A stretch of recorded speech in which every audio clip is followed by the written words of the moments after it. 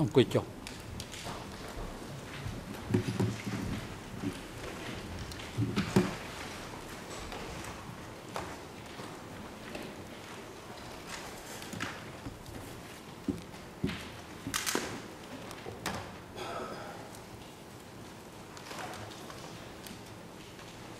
អង្គជំនុំជម្រះប្រកាសបន្តកិច្ចដំណើរការនីតិវិធីសមាការនៅក្នុងថ្ងៃនេះគឺនៅព្រឹកនេះ អង្គជំនុំជម្រះរដ្ឋបងធ្វើសមាការអឺស្ដាប់នៅសកម្មរបស់ដើមបណ្ដឹងរដ្ឋប្រពៃណីឈ្មោះចៅនីបន្ថែមតាមសំណើសុំរបស់ក្រមមេធាវីការពីក្រីជាសម្ផនចុះថ្ងៃទី7ខែធ្នូឆ្នាំ2012ឯកសារ E250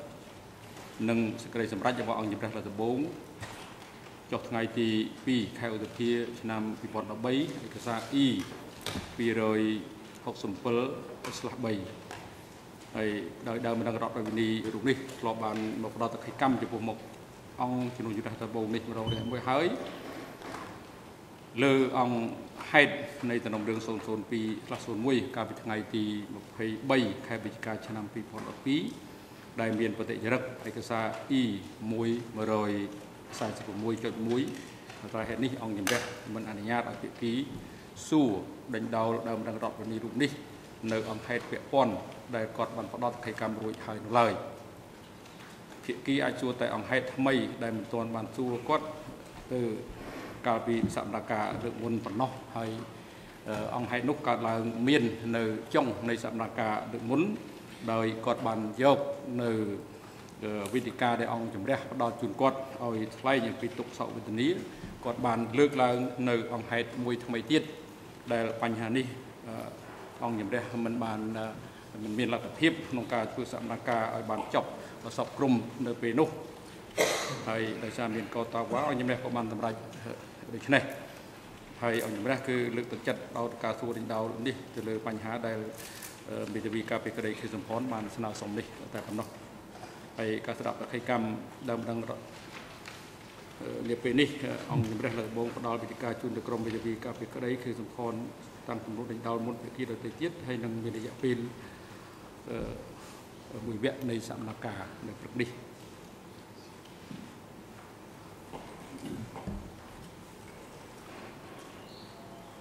សូមចេញលោកមេធាវី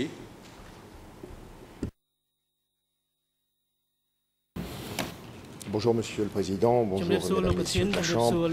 Euh, justement, euh, je m'interroge sur la légitimité de l'ordre que vous venez d'indiquer, puisque euh, l'ordre habituel de passage s'agissant d'une partie civile est différent de celui que vous venez d'indiquer. Normalement, ce sont les parties civiles qui posent des questions en première, ensuite មេធាវីតំណាងឲ្យដើមម្ដងរដ្ឋប្រវេណីជាអ្នកសួរមុនហើយបន្ទាប់មកសហប្រញ្ញានិងជាចុងក្រោយគឺមេធាវីការពារក្តី rappelle à votre chambre ដូច្នេះខ្ញុំសូមរំលឹកជូនអង្គជំនុំ effectivement nous avons demandé à ce que ce monsieur revienne c'est exact mais ça n'est pas notre témoin មកមែនក៏ប៉ុន្តែមិនមែនជាសាក្សីរបស់យើងទេយើងស្នើសុំឲ្យត្រឡប់មកវិញនេះ cette personne s'exprimait était supposé s'exprimer sur ses souffrances ថ្លៃអំពីការឈឺចាប់របស់ខ្លួន il a subitement évoqué un fait nouveau. Et qu'à cette époque euh, il ne nous a pas été permis euh, de poser des questions sur ce fait. Puisque vous aviez répondu à ma professeur Antagissé, Monsieur le Président, que euh, le témoin était déjà rentré chez lui. Donc à partir de là, euh, il me semblerait logique que ce soit l'ordre habituel des interventions qui soit respecté. D'autant plus que ça va faciliter les choses. J'en prends un très simple exemple. Et je le fais d'autant plus aisément que le témoin n'est pas là. Euh, la partie civile nous a adressé une, un mail hier avec des questions qu'elle souhaite poser à l'audience et nous voyons subitement encore un fait nouveau qui apparaît, qui n'avait pas été évoqué euh, par le, son, la partie civile à l'audience, à savoir le fait que euh, l'oncle de la partie civile aurait été appelé à la radio. Bon. Alors, je crois qu'on ne va pas perdre de temps. Le plus simple est que les parties civiles posent les questions qu'ils ont à poser ខាងមេធាវីតាមមណ្ឌលរដ្ឋប្រវេណីសួរសំណួរទៅកូនក្តីរបស់គាត់ទៅហើយឲ្យសាកប្រញ្ញាបន្តហើយចុងក្រោយគឺខាងមេធាវីការពារក្តីដើម្បីយើងដឹងអំពីទ្រង់ទ្រាយពិតប្រាកដនៃសក្ខីកម្មរបស់គាត់ sur ces faits nouveaux. Il serait beaucoup plus logique et source d'un gain de temps utile à tous que l'ordre habituel soit respecté, participer le procureur et enfin défense. C'est la demande que je vous présente. វិញសូមអរគុណលោកប្រធានបាទអរគុណសូមជ័យលោកមេសហមេធាវីនៅមុខតំណាងដើមរងរដ្ឋប្រវិនី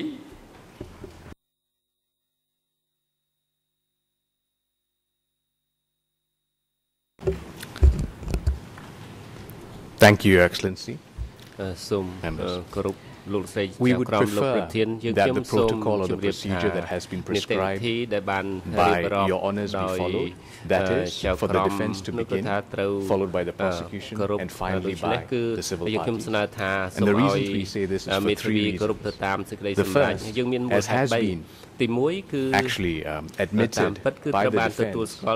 the only reason the civil party is called here is not because of a general procedure, he has already given his evidence in chief previously last year in November. He is being called by the defense to answer what we suggest is a new allegation of fact, and both the prosecution and the civil parties have not objected to their request. It is their request to call this civil party to ask him about this question. The second reason is that they have full opportunity to ask him anything that they would wish to within the allocated time. So if they feel that in relation to this new allegation, they have additional questions to ask, they should ថ្មី lead by beginning to ask those questions, for example, about the radio broadcast that, upon which they've now been put on notice. And third, Your Excellency, obviously it's fully within your discretion to choose the procedure now that should be followed, and we have no objection to the procedure that you've put forward. បាទប៉ុន្តែសំណើរបស់យើងខ្ញុំថាសូមឲ្យមេធាវីការពារក្តីគោរពទៅតាមសេចក្តីសម្រេចរបស់អង្គជំនុំជម្រះកាលពីមុនដែលថាឲ្យមេធាវីការជាក្តីសួរមុនហើយបន្តបន្តទៅទៀតនេះជាសំណើរបស់យើងខ្ញុំ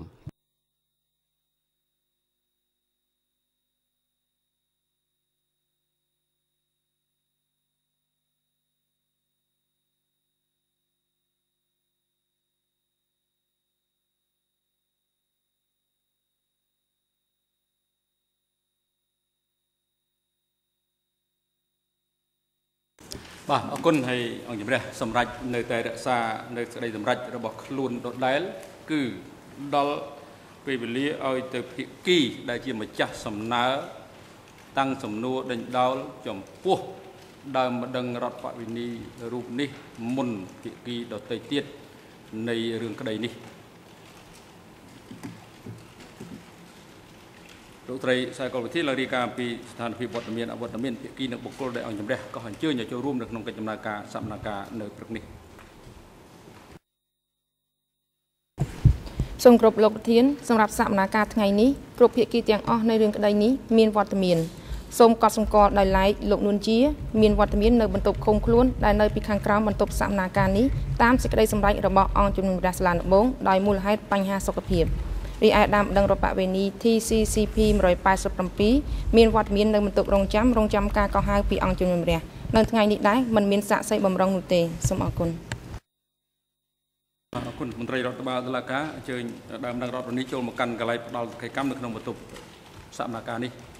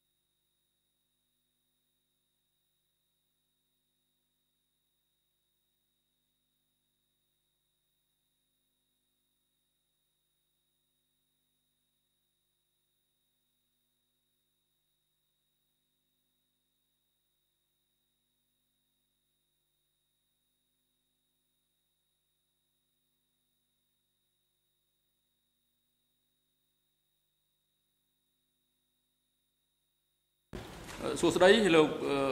ឈ្មោះចៅនីចឹងមែនទេ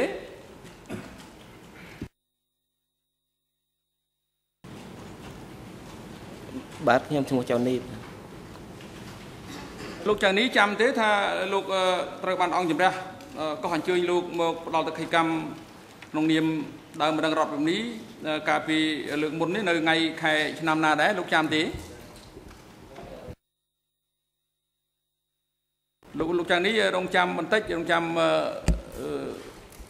ក្បាលមីក្រូហ្វូនប្រតិបត្តិការដោយមានសញ្ញាភ្លើងក្រហមនៅនឹងក្បាលមីក្រូហ្វូនឬក៏នៅនឹងប៊ូតុងសម្រាប់ចុចនេះលោកចាប់ផ្ដើមនិយាយនឹងទៅសម្លេងរបស់លោកចូលនឹងប្រព័ន្ធបែកចែកចាយសម្លេងរបស់លោកហើយនឹងជាពិសេសចូលទៅប្រព័ន្ធនៃការស្ដាប់សម្លេងរបស់អ្នកបកប្រែអ្នកបកប្រែត្រូវបកប្រែភាសារបស់លោកជា3ជាពីរភាសាទៀតគឺភាសាអង់គ្លេសនិងភាសាបារាំង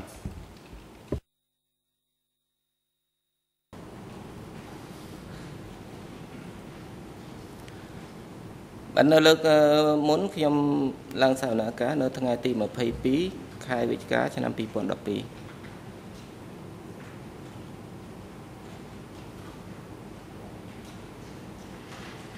បាទអរគុណហើយដោយសារលោកបានធ្លាប់មកផ្ដល់តក្កកម្មនៅទីនេះម្ដងមួយមកហើយហើយមានបតិចរិកយើងបានជម្រាបជូនភាគីរួចហើយដូច្នេះយើងមិនចាំបាច់សួរនៅ ប្រវត្តិសាស្ត្រកដាលរបស់លោកទៀតទីប៉ុន្តែអង្គជំរះក៏សូមជម្រាបរំលឹកលោកផងដែរថាសិទ្ធិរបស់លោកដែលមានគឺក្នុងនាមដើមម្ដងរដ្ឋប្រនីគឺអាចថ្លែងព្រៀបរាប់ជូនដល់អង្គសមនការអំពីស្ថានភាពនៃផ្ទះសនកម្មទុកវេទនាដែលបានកើតមានចំពោះលោក ដែលជាអាចមានខាងការខូចខាតខាងផ្លូវចិត្តផ្លូវកាយសម្ភារៈហើយភាសនកម្មផ្ទាល់ខ្លួនដែលជាបច្ច័យផ្ទាល់ពីបទអក្រិត ដែលបានកើតមានពិតប្រកបរហូតដល់ពេលបច្ចុប្បន្នអឺដែលពាក់ព័ន្ធទៅនឹងបទអក្រិតត្រូវបានចោទប្រកាន់លើជនជាប់ចោទនៅពីររូបគឺនួនជាគឺសំផនដែលប៉ះពាល់ចំពោះលោកនៅក្នុងរបបកម្ពុជាប្រជាធិបតេយ្យនេះគឺនីតិចុងក្រោយនៃកិច្ចដំណើរការសមនាការនេះយើងនឹងផ្ដល់ពេលវេលានេះដូចយើងមុនអញ្ចឹងគឺមុនយើងអង្គជំរះបានផ្ដល់ពេលវេលាហ្នឹងជូនលោកហើយប៉ុន្តែលោកបានប្រើប្រាស់នៅ ការដែលការអនុវត្តសិទ្ធិនេះគឺលោកបានបង្កើតនៅអង្គហេតុមួយថ្មីទៀតដែលជាមិនមែនជាសេចក្តីថ្លែងការណ៍រៀបរាប់អំពីទុកសោកវេទនានិងចេតនកម្មទេអញ្ចឹងហើយបានជានៅពេលនេះអង្គជំរះនៅតែផ្ដល់សិទ្ធិឲ្យលោកនៅនីតិចុងក្រោយនៃដំណើរការផ្ដល់តក្កកម្មចំពោះមុខអង្គជំរះនេះនៅសិទ្ធិនេះដដែល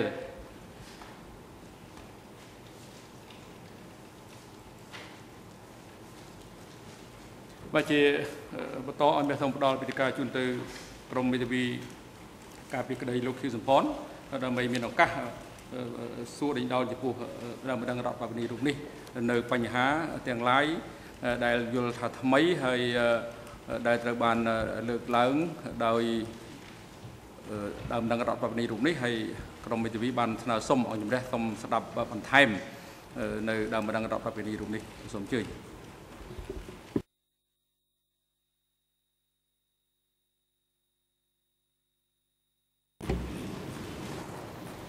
Merci, Monsieur le Président. Bonjour, Monsieur.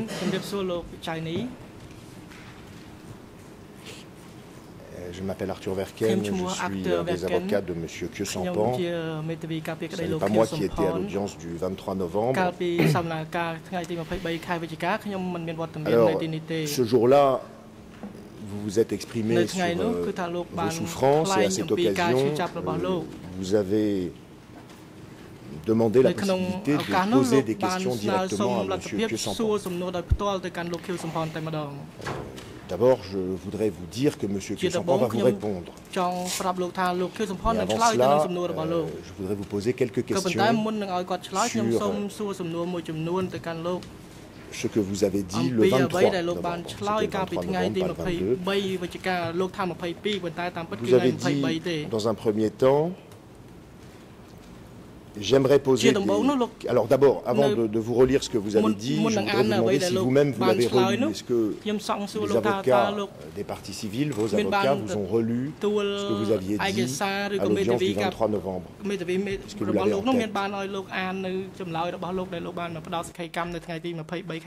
tête ខ្ញុំក៏មិនទាន់បានអានមិនទាន់បានឃើញទេ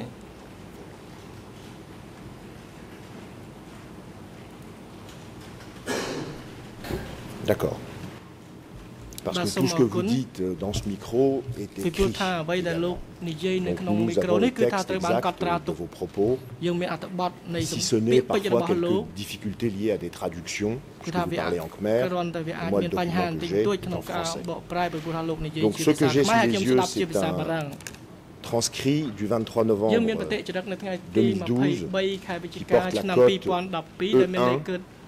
barre de fraction 146.1 et vous dites euh, J'aimerais poser des questions à Kyo Sampan. Un de mes oncles avait un lien avec Kyo Sampan. Ça, c'est la première partie de ce que vous dites. S'ensuit une dispute entre toutes les parties relative à la possibilité pour vous de poser des questions directement à M. Kyo Sampan. Je passe cet épisode et puis on vous redonne la parole. Là, je cite, voilà ce que vous dites. Le 17 avril 1975, le jour de la libération, Kyo Sampan a écrit une lettre invitant mon oncle, Chao Sao, et lui demandant de rentrer à Phnom Penh. Et je veux savoir pourquoi. Que Sampan l'a-t-il finalement rencontré, mon oncle? C'est ma première question. Ma deuxième question est la suivante. Le chauffeur de M. Chao Sao, en 1979, je l'ai rencontré à Phnom Penh il m'a dit la chose suivante. Lorsque Chao Sao a été évacué, quand il est arrivé à Prekdam, deux soldats lui ont livré une lettre de Kyo Sampan qui lui était adressée. Dans cette lettre, il était écrit que M. Chao Sao devait rentrer à Phnom Penh. Mais Chao Sao a refusé. Il a dit qu'il ne rentrerait à Phnom Penh que lorsque tous les autres citadins pouvaient rentrer. Et les deux soldats sont revenus une deuxième fois, l'invitant à rentrer à Phnom Penh.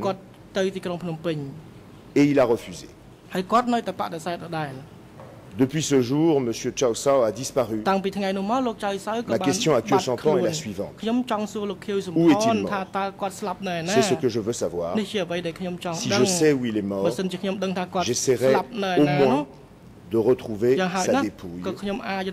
pour que je puisse avoir une cérémonie religieuse pour son âme. Fin de citation. Est-ce que ce que je viens de lire, monsieur, euh, correspond dans votre souvenir avec ce que vous avez dit le 23 novembre 2012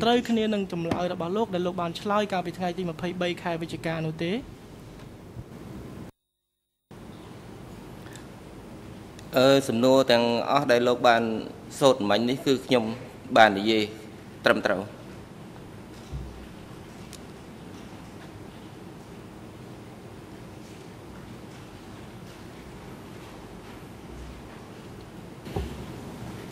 Ensuite, je voudrais donc vous poser quelques questions, ce ne sera pas très long, je pense. Je voudrais vous demander, euh, d'abord, est-ce que vous pouvez nous donner le nom du chauffeur de votre oncle?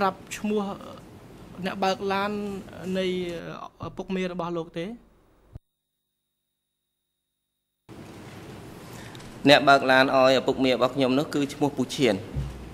នកបើកឡានឲ្យឪពុកមារបស់ខ្ញុំនោះគឺឈ្មោះពូឈៀននៅកាលនោះគាត់អាយុប្រហាក់ប្រហែលជា50ឆ្នាំអាយុប្រហែលជាអាយុ50គាត់ប្រហែលជារៀងចាស់ជាងឪពុកមាខ្ញុំ អ្នកបើកបរនោះ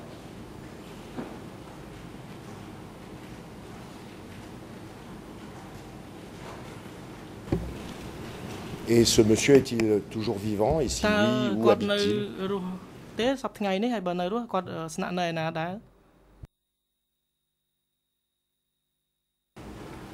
នៅ ឆ្នាំ79នោះខ្ញុំបានជួបគាត់ដោយចៃដន្យទេដែលខ្ញុំមកការគេនៅក្រោយវត្តពុទ្ធនៅភ្នំពេញ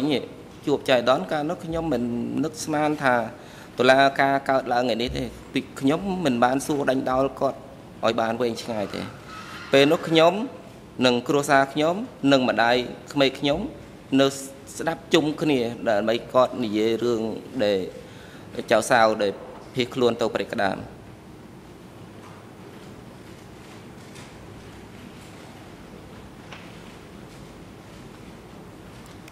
នៅពេលនោះគាត់ដំណើររឿងប្រាប់ថាអឺពេលភៀសខ្លួនទៅដល់ព្រៃក្តាមលោកលោកចៅសាវបានទទួលលិខិតដោយខ្ញុំរាយរាប់ប្រាប់ពីមុនលិខិតទី1លិខិតទី2លិខិតទី1គាត់បដិសេធថាគាត់មិនចូលក្រុងទេលុះត្រាប្រជាពលរដ្ឋចូលក្រុង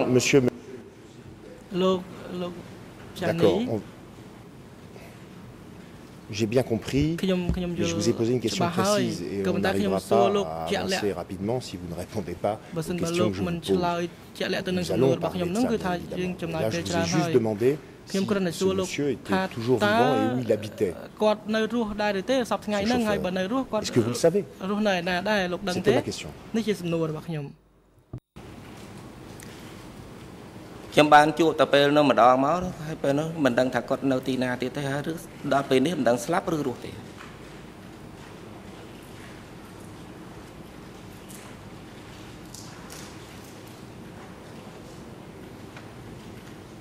Est-ce que vous savez de quelle région il est originaire ហើយលោកដឹងថាគាត់មកពីតំបន់ណាទេ កាលនោះខ្ញុំមិនបានសួរដេញដោលគាត់ថានៅរស់តំបន់ណាឬគាត់គាត់ថាគាត់តែបែកចេញពីលោកចៅសាវហ្នឹងទៅចៅសាវឲ្យគាត់ទៅរកទីក្រុងរកគ្រួសារគាត់ទៅខ្ញុំអត់បានសួរដេញដោលទៀតទេ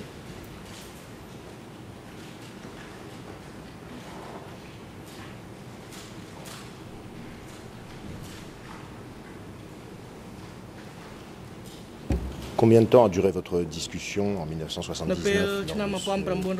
mariage, je crois, vous avez dit. លោកថានៅពេលការនោះលោកបានជួបគាត់ហ្នឹងលោកបានជជែកគ្នាជាមួយគាត់ប្រហែលប្រហែលដែរពេលនោះរយៈពេលប្រហែលព្រោះពីព្រោះនៅក្នុងពិធីការគេប្រហែលជាខ្ញុំជួបរយៈពេលខ្លីដែរទេពេលពិធីការគេវាជាវរាវពេកអញ្ចឹងខ្ញុំមិនបានសួរដេញដោលបានវែងឆ្ងាយទេរ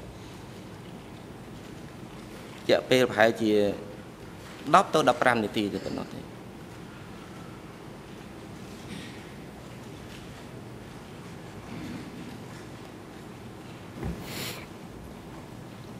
Dans votre déposition que j'ai relue, vous dites euh, que vous donnez une date en fait. D'ailleurs, c'est par cela que vous commencez. Vous dites le 17 avril 1975, le jour de la libération, que Sampan a écrit une lettre invitant mon oncle à rentrer à Phnom Penh. C'est ce que vous a dit exactement euh, le chauffeur. Il, a, il vous a cité la date de la lettre aurait été adressé par M. Kyo Sampan à votre oncle សម្បត្តិដែលដំណងជាលោកខៀវសំផនផ្ញើជូនហ្នឹងគឺមានបញ្ជាក់កាលបរិច្ឆេទច្បាស់លាស់ថាថ្ងៃ17មេសាហ្នឹងមែនទេមិនមែនថ្ងៃ17មិនមែនថ្ងៃ17មេសាទេក្រោយហ្នឹងប្រហែលរយៈពេល3ថ្ងៃទៅគាត់ទៅដល់ព្រៃក្តាមបើទៅមានសមុទ្រនោះទៅដល់លោកនៅព្រៃក្តាមលោកចៅសៅនៅព្រៃក្តាមមិនមែនថ្ងៃ17មេសាហ្នឹងតែម្ដងទេ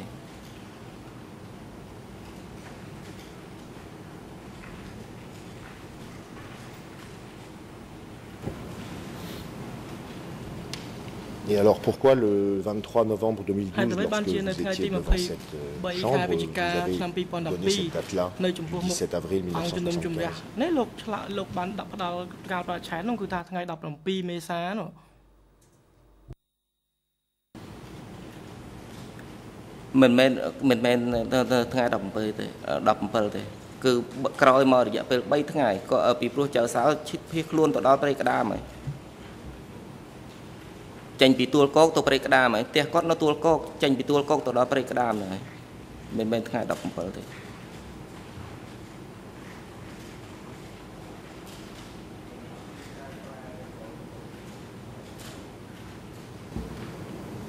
Moi, j'ai bien compris, mais je vous demande pas tellement. Enfin, là, il me semble que vous rectifiez ce que vous avez dit le 23 novembre. Donc, je vous demande juste pourquoi le 23 novembre 2012, vous aviez dit le 17 avril 1975. Aujourd'hui, vous nous dites que c'est trois jours plus tard,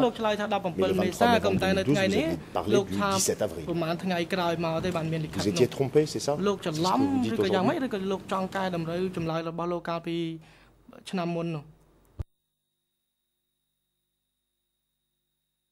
ដំណឹងរដ្ឋបព្វនេះក៏មកចន់ឆ្លើយតបសូមអញ្ជើញលោកតំណាងថាបញ្ញា Your Honour, just a brief point of clarification. Uh, my reading of that transcript is that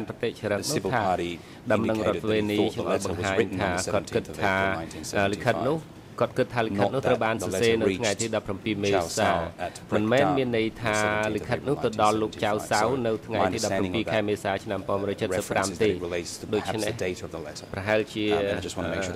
គាត់យោងទៅរកការបរិច្ឆេទដែលចុះលើលិខិតដែលគេបានសរសេរទេមិនមែនថាលិខិតនោះទៅដល់ដៃលោកចៅសៅនៅថ្ងៃនោះទេបាទ Merci, Monsieur le Président. Effectivement, moi aussi, c'est la compréhension que, que j'ai de, de, votre déposition du, du 23 novembre, Monsieur le témoin. Je la relis encore une troisième fois pour que d'accusation de déformation à mon encontre. Je cite, vous, vous avez déclaré le 17 avril 1975, le jour de la libération, Joe Sampan a écrit une lettre invitant mon oncle Cho Sao et lui demandant de rentrer à Phnom Penh. Je veux savoir euh, si lorsque vous vous êtes entretenu avec euh, ce chauffeur en 1978, c'est lui qui vous avait indiqué que cette lettre aurait été écrite le jour de la libération, c'est-à-dire le 17 avril 1975. Est-ce que cette date vous avait été donnée par le chauffeur គឺថាកាលបរិច្ឆេទហ្នឹងគឺអ្នកបើកឡានហ្នឹងជាអ្នកប្រាប់លោកទេមែនទេនៅពេលនោះគាត់និយាយអញ្ចឹងមែនក៏ប៉ុន្តែបើសម្បត្តិដែលគាត់និយាយថាបានទទួលនោះគឺក្រោយក្រោយនោះ3ថ្ងៃទេក្នុងការបរិច្ឆេទប្រហែលជាថ្ងៃ17មេសាពីព្រោះនៅថ្ងៃ17មេសានោះ វិទ្យុជាតិបានប្រកាសរកចៅសាវលងបរ៉េតអឺអឺ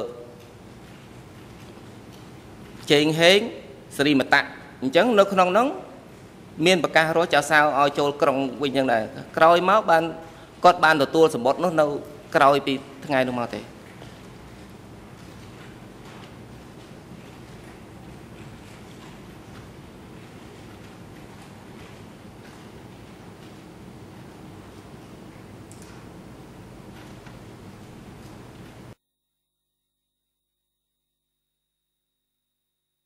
Et vous-même, à l'époque, vous l'avez entendu, cette émission de radio សម័យនោះនោះលោកស្ដាប់ឮតែតិចលោកផ្ទាល់ទេអំពីការផ្សាយតាមវិទ្យុហ្នឹងពីព្រោះពេលរំដោះថ្ងៃ17មេសាភ្លាមភ្លាមនោះខ្ញុំនៅមានវិទ្យុស្ដាប់ទេស្ដាប់ផ្ទាល់បាទនៅស្ដាប់ផ្ទាល់ហើយនឹងម្ដាយក្មេកខ្ញុំក៏គាត់ស្ដាប់ឮដែរហើយដូច្នេះខ្ញុំស្ដាប់ផ្ទាល់ក៏ឮម្ដាយក្មេកខ្ញុំនិយាយប្រាប់តាមក្រោយមកក៏ឮអញ្ចឹង វាត្រូវគ្នានឹងខ្ញុំស្ដាប់ពេលដែលថ្ងៃ17មេសាក្រោយមកគឺប្រកាសរកឈ្មោះទាំងអ្នកប្រមាណអ្នកនេះ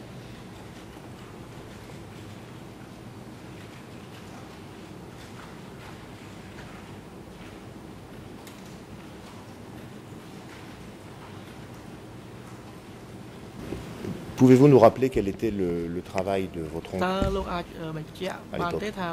កាលពីសម័យនោះហ្នឹងឪពុកមេរបស់លោកហ្នឹងធ្វើការអ្វីដែរ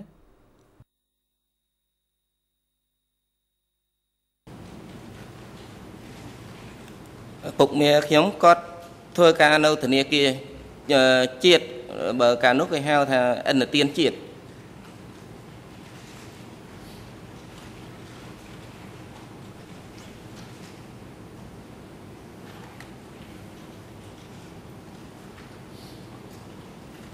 Et la dernière fois que vous l'avez vu physiquement ពេលចុងក្រោយដែលលោកបានឃើញគាត់នោះនៅពេលណាដែរ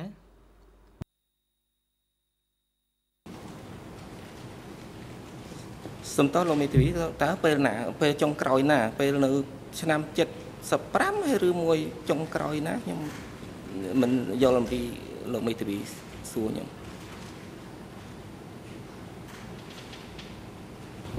Bien sûr, pas récemment, sinon nous ne serions pas là. Je vous demande la dernière fois que vous avez vu votre oncle, quel que soit le, le moment. ជាថ្ងៃចុងក្រោយបំផុតដែលលោកជួបគាត់នោះគឺថានៅថ្ងៃណាដែរ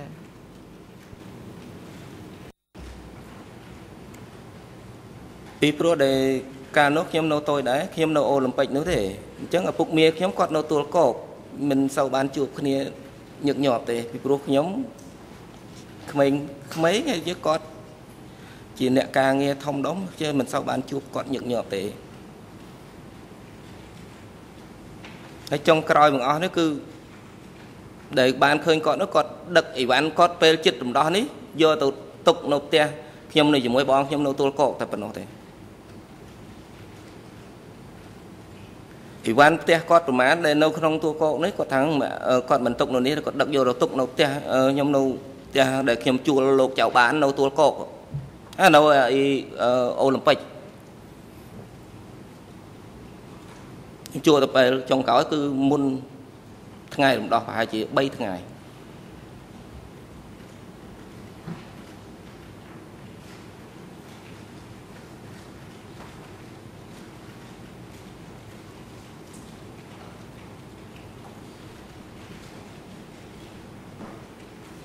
D'accord. Et euh, la lettre euh, dont vous a parlé chauffeur, c'était la première fois que vous en entendiez parler au moment où il vous en a parlé en 1979, c'est exact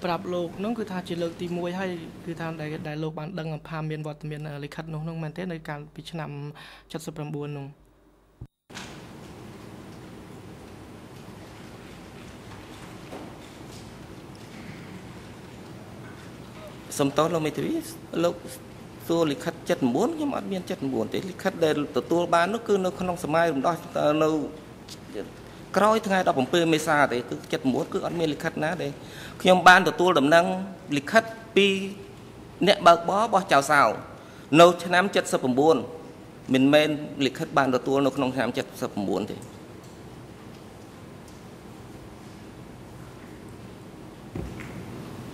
Oui, bien sûr. C'est tout à fait normal. La lettre dont vous nous dites que votre oncle aurait été le destinataire et qu'il aurait euh, reçu quelques jours après la libération cette lettre, est-ce que vous l'avez vue ou est-ce que c'est, vous n'en avez entendu parler que par l'ancien chauffeur de votre លោកគ្រាន់តែបានឮតាមរយៈអតីតអ្នកបើកឡានរបស់អ៊ំលោកទេ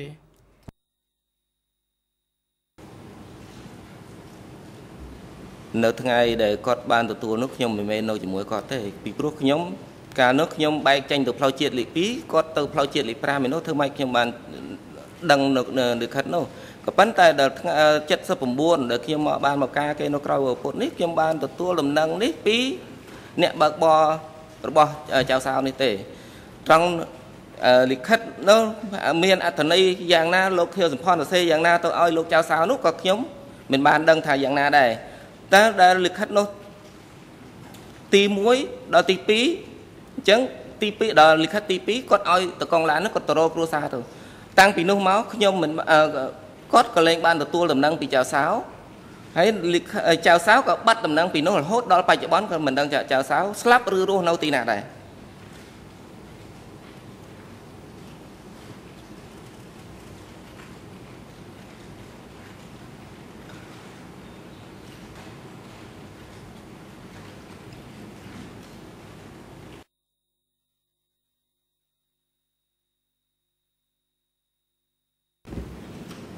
Donc il y a eu deux lettres, c'est ce que vous dites maintenant, monsieur? J'ai bien compris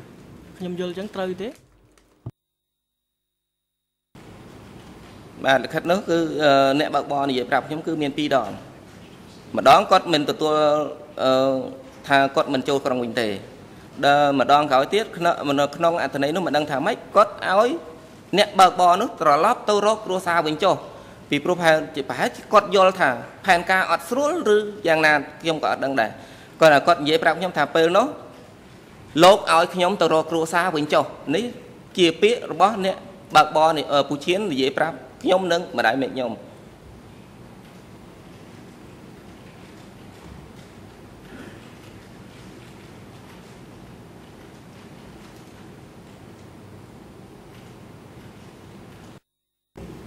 Et quand vous avez eu cette conversation euh, de 15 minutes avec le chauffeur en 1979, est-ce qu'il vous a dit qui avait signé cette deuxième lettre គេគាត់មានបានប្រាប់លោកទេថាអ្នកណាជាអ្នកចុះហត្ថលេខាលើសម្បត្តិទី2 rédigé ហើយសម្បត្តិទី2នេះត្រូវបានសរសេរនៅថ្ងៃណាខែណាឆ្នាំណាដែរនឹងខ្ញុំមិនបានសួររញដល់គាត់ទេគាត់គាត់និយាយប្រាប់ប៉ុណ្ណឹងយើងថាគាត់ថាដឹងដំណឹងគាត់បាត់ខ្លួនតាំងពីគាត់ចាក់ចេញពីលោក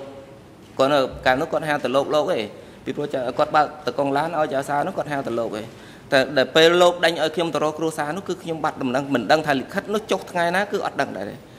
ក៏ប៉ុន្តែដល់នៅក្រោយម្លងពីលិខិតទី1នោះប្រហែលជារយៈ2 2ថ្ងៃ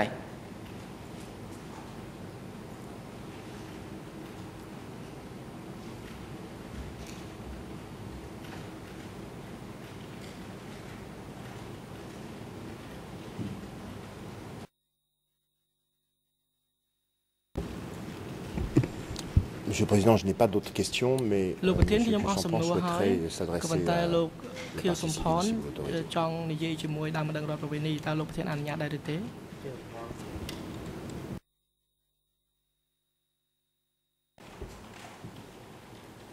លោកអាចសួរនាំបានប៉ុន្តែលោកសួរតាមរយៈអង្គជំរះគឺតាមរយៈប្រធានអង្គជំរះលោកមិនអាចនិយាយផ្ទាល់ជាមួយនឹង ដើមនឹងរដ្ឋវិនីបានទេលោកប្រធានខ្ញុំសូមកែតម្រូវបន្តិចអមិញក៏ប៉ុន្តែមិនមែនលោកគឺសំផនចង់និយាយទៅកាន់ដើមបណ្ដឹងរដ្ឋវិនីទេក៏ប៉ុន្តែ សំណួរដែលដើមបណ្ដឹងរដ្ឋវិនីបានសួរតាមរយៈលោកប្រធានពីពេលមុនណាហើយគាត់មិនទាន់បានឆ្លើយហើយគាត់មិនបានឆ្លើយពីមុនឥឡូវគាត់ចង់ឆ្លើយនឹងសំណួរនោះ ដូច្នេះឆ្លើយក៏តាមរយៈលោកប្រធានដែរបាទសូមកត់សម្គាល់តំណែងសូមអរគុណ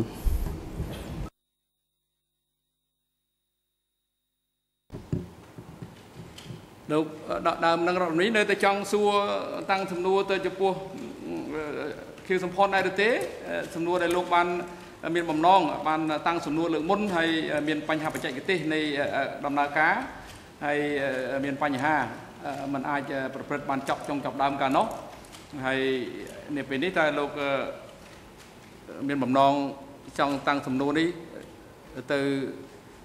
ជនជាប់ចោតខៀវសំផនដែរឬទេនៅឱកាសនេះខ្ញុំសូមគោរពលោកឧទានអញ្ចឹងខ្ញុំសូមបន្ថែមខ្លះខ្លះទៀតទៅលើសំណួរចាស់លោកចាប់ដើមតាំងសំណួរទាំងអស់ទាំងឡើងវិញលោកសួរសំណួរមួយម្ដង ដើម្បីយើងបញ្ជូនសំណួរទៅឲ្យគាត់ឆ្លើយណាសំណួរដែលលោកសួរគឺចាប់ដើមសួរឡើងវិញគឺខៀវសំផនតំណងជាត្រៀមខ្លួនទៅហើយក្នុងការឆ្លើយតបទៅនឹងសំណួរដែលលោកមានបំណងសួរនេះ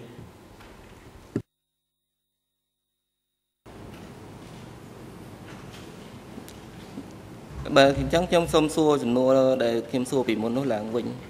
ហើយនឹងបន្ថែមខ្លះទៅលើសំណួរចាស់ ខ្ញុំចង់សួរទៅលោកអ៊ំខៀវសំផនថាពេលដែលលិខិត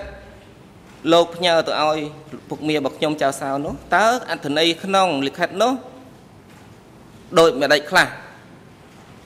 អឺទី1គាត់បដិសេធមិនព្រមចូលក្រុងវិញទេលុះត្រាប្រជាពលរដ្ឋចូលទី2ហេតុអីបានតែលោកចៅសៅពុកមារបស់ខ្ញុំនេះគាត់ឲ្យ តកងអ្នកបើកបរឡានគាត់នោះទៅរកគ្រួសារវិញមកពីក្នុងអត្ថន័យលិខិតនោះដោយម្ដេចខ្លះបានតែគាត់មិនឲ្យតកងឡាននេះនៅពាក់ព័ន្ធជាមួយគាត់តាំងពីសម្បត្តិទី2នោះគាត់បានទទួលហើយចៅសាវក៏បាត់ខ្លួនរហូតដល់បច្ចុប្បន្នបើលោកអ៊ំខៀវសំផនដឹងថាគាត់ស្លាប់នៅកន្លែងណាឬគាត់ ស្លាប់នឹងអត់បាយឬជំងឺហើយឬមួយគេធ្វើឃាតកម្មទៅលើគាត់នៅកន្លែងណាហើយគាត់ចលានោះទៅទីណាសូមអ៊ំប្រាប់ខ្ញុំផងដើម្បីខ្ញុំយកអធិគាត់ធ្វើបនតាមប្រពៃណីរបស់ខ្មែរអ៊ំក៏សញ្ចាស់ក៏សញ្ជាតិខ្មែរដែរអ៊ំប្រហែលជាដឹងអំពីរឿងនេះច្បាស់ណាស់ខ្មែរយើងយើងអ្វីមួយយើងត្រូវតែរំលឹកពីគុណរបស់គាត់ពីព្រោះចៅសាវគឺគាត់ បាទហើយយើងលោកសួរណាសួរលោកអត្ថាធិប្បាយថែមទៀតហ្នឹងអ្នកស្ដាប់សំណួរហ្នឹងមិនចង់ចាំទៅបាទអង្គជំរះសូមបញ្ជូននៅសំណួរនេះទៅលោកគឺសំផនដើម្បីឆ្លើយតបព្រោះមិញលោកមានបានបង្ហាញចំហពីការឆ្លើយតបទៅនឹងសំណួរដែលនឹងសួរដោយដើមម្ដងរាប់រាប់នេះរូបនេះសូមអញ្ជើញលោកគឺសំផនបាទ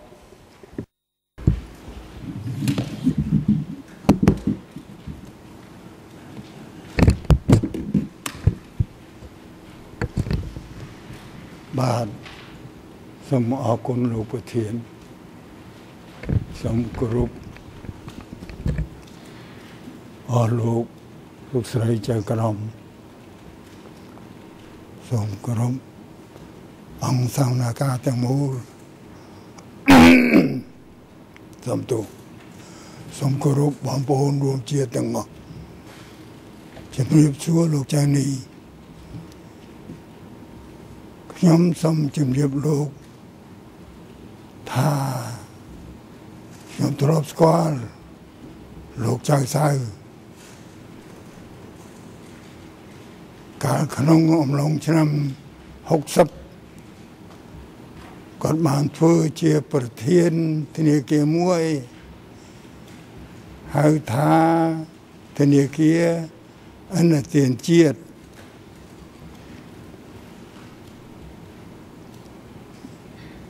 ហើយខ្ញុំយល់នៅទឹកចិត្តរបស់លោកទុកសោកសង្រេងរបស់លោកនិងក្រុមគ្រួសាររបស់លោកខិតខំស្វែងរកដំណឹងពីលោកអ៊ំរបស់លោកពីជោគវាសនារបស់អ៊ំរបស់លោក ហើយបើប្រសិនជាលោកបានចាត់ចែកឋានទៅហើយនឹងយកសពរបស់លោកមកធ្វើបុណ្យតាមកន្លងប្រពៃណីពុទ្ធសាសនារបស់យើងប៉ុន្តែជាការគួរឲ្យសោកស្ដាយ ខ្ញុំមិនមានដំណឹងអ្វីទាល់តែសោះអំពីជោគវាសនារបស់អ៊ំរបស់លោកនៅក្នុងរបបកម្ពុជាប្រជាធិបតេយ្យហើយពាក្យថាមានអ្នកណាអាចជម្រាបលោក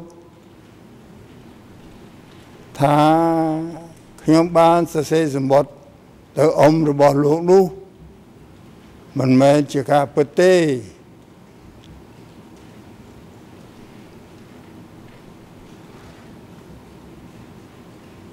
ខ្ញុំ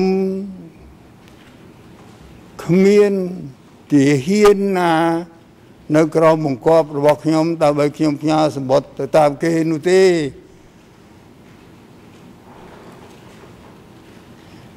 ហើយម្យ៉ាងទៀតដោយលោកជ្រាបហើយ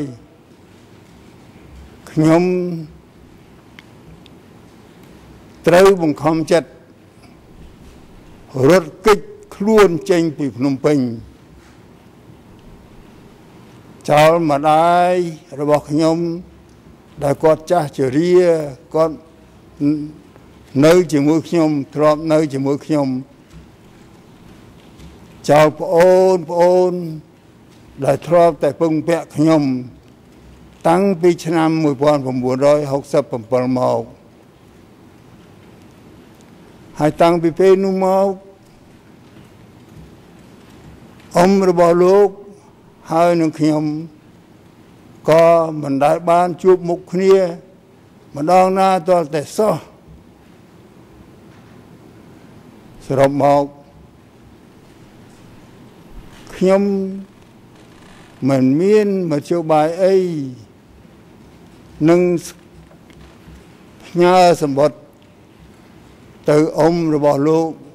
តលតែសោះម្យ៉ាងទៀតខ្ញុំមិនដែលមានគំនិតអីនឹកភ្នែកទៅរក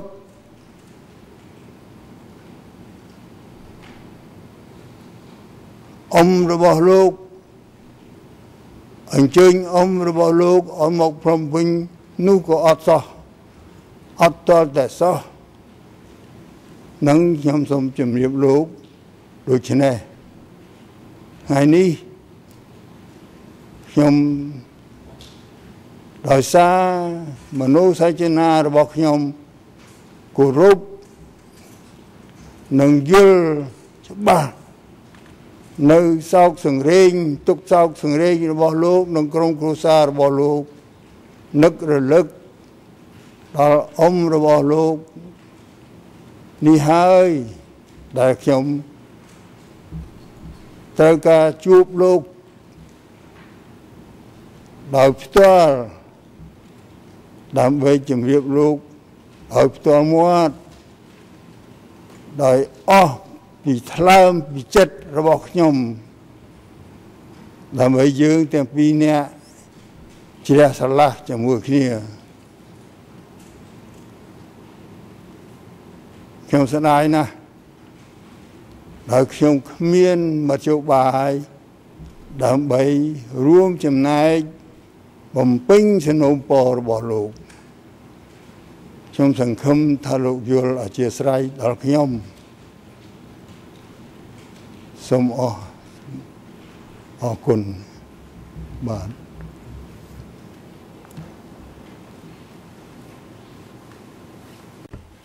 បាទជាបន្តមានបញ្ហាទៀតទេលោកចៅសៅចៅចៅនេះ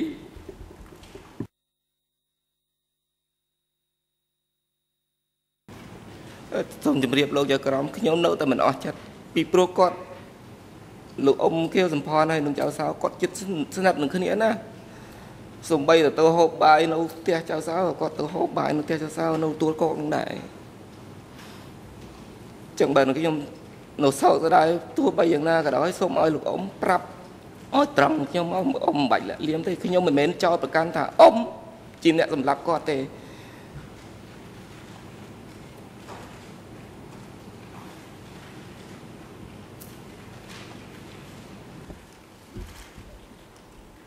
អំបញ្ញមិញនេះខាងមេធាវីការពីក្តីគឺសម្ផនបានសួរលោកច្បាស់លាស់ណាស់អំពីប្រភពព័ត៌មានទាំងឡាយដែលនាំឲ្យលោកគិតថាខៀវសំផនជាអ្នកបញ្ជូនលិខិតតាមរយៈកងទ័ពទៅឲ្យចៅសៅប៉ុន្តែប្រភពព័ត៌មាននោះ ការសួរដេញដោលទៅលោកមិនមានប្រភពព័ត៌មានអីឲ្យបានរឹងមាំទេ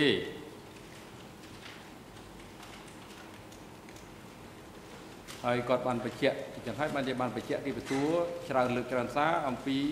បញ្ហាពាក់ព័ន្ធជាមួយនឹងតំណែងតំណងនៃលិខិតនេះរួចហើយ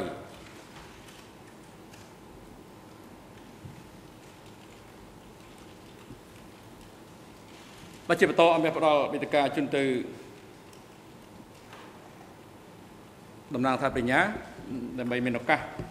សួរដេញដោលចំពោះដើមរឹងរដ្ឋបាលវិនីនៅផ្នែកអង្គហេតុថ្មីដែលដាក់ដេញដោលនេះពេលនេះប្រសិនបើមានបំណងក្នុងការសួរបន្ថែមសូមអញ្ជើញ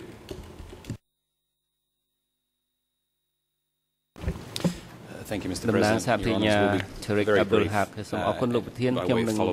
សួរសំណួរដោយសង្ខេបតាមបន្ទាប់ពីមេធាវីការពារក្តីលោកចានីខ្ញុំសូមអរគុណដែលលោកបានអញ្ជើញត្រឡប់មកវិញដែលថាលោកមិនមានអារម្មណ៍ធូរស្រាលទេក្នុងការពិភាក្សាពីបញ្ហានេះខ្ញុំសូមត្រឡប់ទៅរកការពិភាក្សាដែលលោកមានជាមួយអ្នកបើកបររបស់លោកចៅសាវ about these letters អំពីលិខិតអំពីសម្បត្តិនោះ Can I first ask you ខ្ញុំសូមសួរលោកសំណួរទី1 whether he ថាតើគាត់បានប្រាប់លោក that he saw ថាគាត់បានឃើញសម្បត្តិនោះដែរឬទេ បាទដោយផ្ទាល់របស់អ្នកបើកបរនោះសូមជម្រាបលោកសហវិញ្ញាការនោះគាត់និយាយប្រាប់ខ្ញុំគាត់គាត់នៅ ចៅសៅនិយាយប្រាប់បន្តមកគាត់វិញទេគាត់ថាលិខិតមានមែនក៏ប៉ុន្តែក្នុងលិខិតនោះមិនដឹងថាអត្តន័យយ៉ាងណាគឺអត់ដឹងទេនេះសម្បត្តិទី1មានសម្បត្តិទៅដល់គាត់ពីរមែនក៏ប៉ុន្តែដល់សម្បត្តិទី2នោះគឺចៅសៅដេញឲ្យគាត់ទៅរកគ្រូសាទៅដល់ផុតពីនោះមកគាត់អត់បានតំណាក់តំណងអីជាមួយលោកចៅសៅទៀតទេដែលអ្នកបើកបរនោះ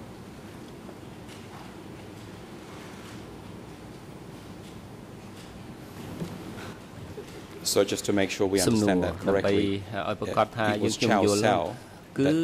លោកចៅសៅបានប្រាប់ឈៀនជាអ្នកបើកបររបស់គាត់ថាលោកចៅសៅបានទទួលសម្បត្តិនឹងពីលោកខៀវសំផនតើអ្នកបើកបរនោះបានប្រាប់លោកបែបនោះទេគាត់បានបានប្រាប់ពិតមែន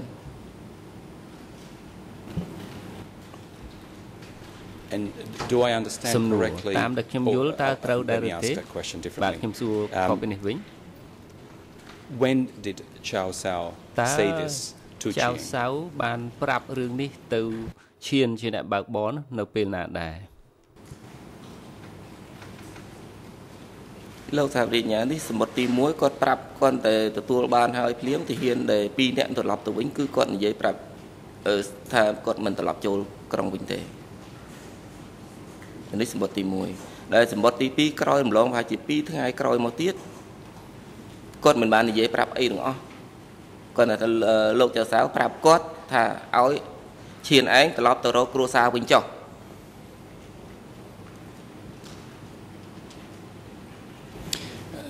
I understand my question is simply about the conversation គឺខ្ញុំចង់ដឹងពីសន្ទនា រវាងចៅសៅហើយនឹងឈៀនជាការសន្ទនាដំបូងតាក់ទងទៅនឹងសម្បត្តិទី1តើលោកបានដឹងឬទេថាតើការសន្ទនានោះកើតឡើងនៅពេលណា3ថ្ងៃក្រោយពីថ្ងៃរំដោះថ្ងៃ17មេសាឬក៏ប្រហែលថ្ងៃតាមដែល អ្នកបើកបរនោះប្រាប់លោកក្រោយពីថ្ងៃ17មេសាប្រហែលជា2ឬ3ថ្ងៃ ដែលគាត់និយាយដែលគាត់បានទទួលដំណឹងនេះក្រោយ2ឬ3ថ្ងៃមិនមែននៅថ្ងៃ17មេសាទេ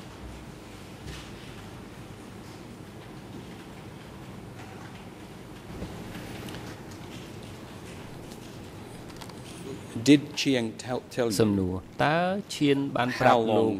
after the first letter ថាក្រោយពីសម្បត្តិទី1នោះ it was រយៈពេលប៉ុណ្ណាដែលថាគាត់បានទទួលសម្បត្តិទី2ដែលលោកចៅសៅបានទទួលសម្បត្តិទី2នោះបាទក្រោយមកហើយប្រហែលជា2 3ថ្ងៃក្រោយមកទៀតបានសម្បត្តិទី2សម្បត្តិទី2នេះមកគឺ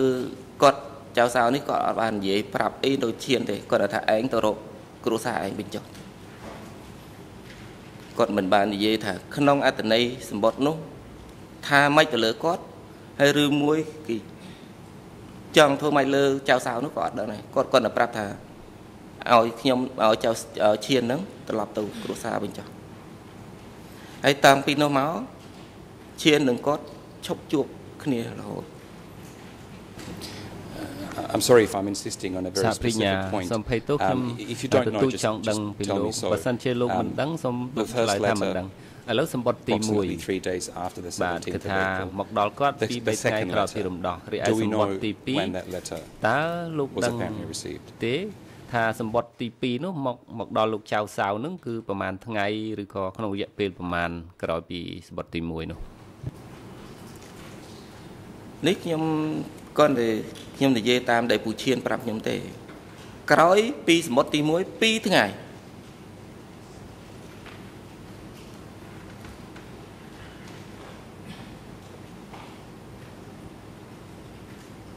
Thank you អឺសាព្រិញ្ញាសូមអរគុណ Did Chao Sao តើចៅសៅបានប្រាប់ឈៀន was written in that second letter មានអ្វីសរសេរនៅក្នុងសម្បត្តិទី2នោះទេខ្លឹមសារដូចម្ដេចដែរឬទេអឺ លោកសហមេអឺវិរិញ្ញាលោកសួរខ្ញុំតើពីសម្បត្តិទី1ឬសម្បត្តិទី2 Yes the second letter if if you know anything បាទខ្ញុំសួរលោកពីសម្បត្តិទី2ថាតើលោកចៅសៅបានប្រាប់ពីខ្លឹមសារនៃសម្បត្តិទី2នេះទៅដល់ឈៀនជាអ្នកបើកបររបស់គាត់ទេតាមដែលឈៀនប្រាប់លោកនោះ ពេលដែលទទួលសម្បត្តិទី2នោះគឺចៅសៅអត់បាននិយាយអ្វីប្រាប់ឈៀនទេ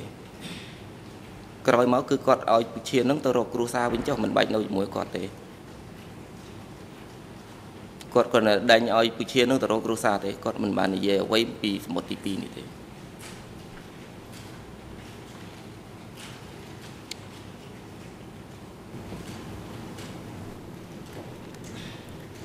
I just want to uh,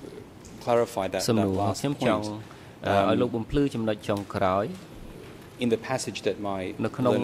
ផ្នែកមួយដែលមេធាវីការពារក្តីលោកខៀវសំផនបានអានជូនលោកស្ដាប់នោះនៅផ្នែកមួយលោកបាននិយាយថាសម្បត្តិទី2សម្បត្តិទី2នោះក៏ជាការអញ្ជើញឲ្យអមរបស់លោកមកភ្នំពេញនោះផងដែរតើលោកនៅចាំខ្លឹមសារអ្វីច្បាស់ដែរដែរឬទេបាទ Attends, c'est moi qui vais le faire. Saman. តាមរដ្ឋនេះក៏អត់ទាន់ឆ្លើយតបសូមអញ្ជើញលោកមេធាវីការពីក្តីលោកនុនជីនៅខៀវសំផន Merci, Monsieur le Président. Juste euh, à des fins de clarification, aussi bien pour mon confrère euh, de l'accusation que pour le témoin, euh, j'ai lu au témoin euh, ce qu'il avait dit le 23 novembre. Et le 23 novembre, il n'a parlé que d'une seule lettre. Donc, euh, lorsque dans sa question, monsieur le procureur euh, prétend que j'aurais lu à monsieur un extrait évoquant une deuxième lettre, c'est impossible, puisque le 23 novembre, le témoin n'avait pas parlé de lettre, mais simplement d'une seule lettre. Voilà. អញ្ចឹងគឺថាវាមិនអាចរួចទេអញ្ចឹងសូមឲ្យអ្នកច្បាស់លាស់ទាំងអស់គ្នាដើម្បីកុំឲ្យនិយាយដោយឈរលើមូលដ្ឋានមានការផន់ច្រឡំ Thank you council សហប្រញ្ញាសូមអរគុណលោកមេធាវីមូលហេតុដែលខ្ញុំយោង the second instance I'll, I'll read that quote ហេតុការណ៍ទី2នោះខ្ញុំសូមដកស្រង់ដើម្បីកំណត់ត្រាតុលាការនោះ and and and it's as follows គឺដូចខាងក្រោមនេះសូមដកស្រង់ and subsequently the two soldiers returned for the second time បានត្រឡប់មកទី3ម្ដងទៀតហើយបានអញ្ជើញគាត់គឺអញ្ជើញលោកចៅសៅឲ្យត្រឡប់មកភ្នំពេញម្ដងថ្មីទៀតហើយគាត់នៅតែបដិសេធចាប់ពីពេលនោះតទៅលោកចៅសៅក៏បានបាត់ខ្លួន that's the that's the passage I was បាទនេះជាផ្នែកដែលខ្ញុំយោងទៅរកនោះនៅក្នុងបទចរិត so with your permission Mr President I'll ask លោកដើមដឹង the civil party one one more time whether he knows anything about that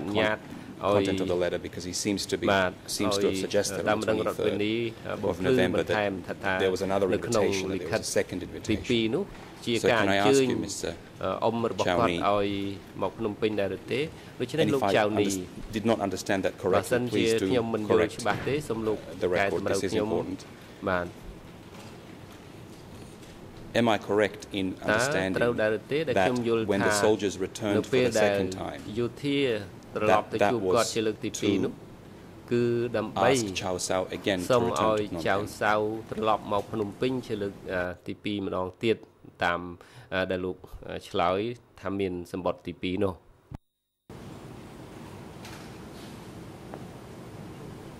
នៅពេលនោះខ្ញុំបាន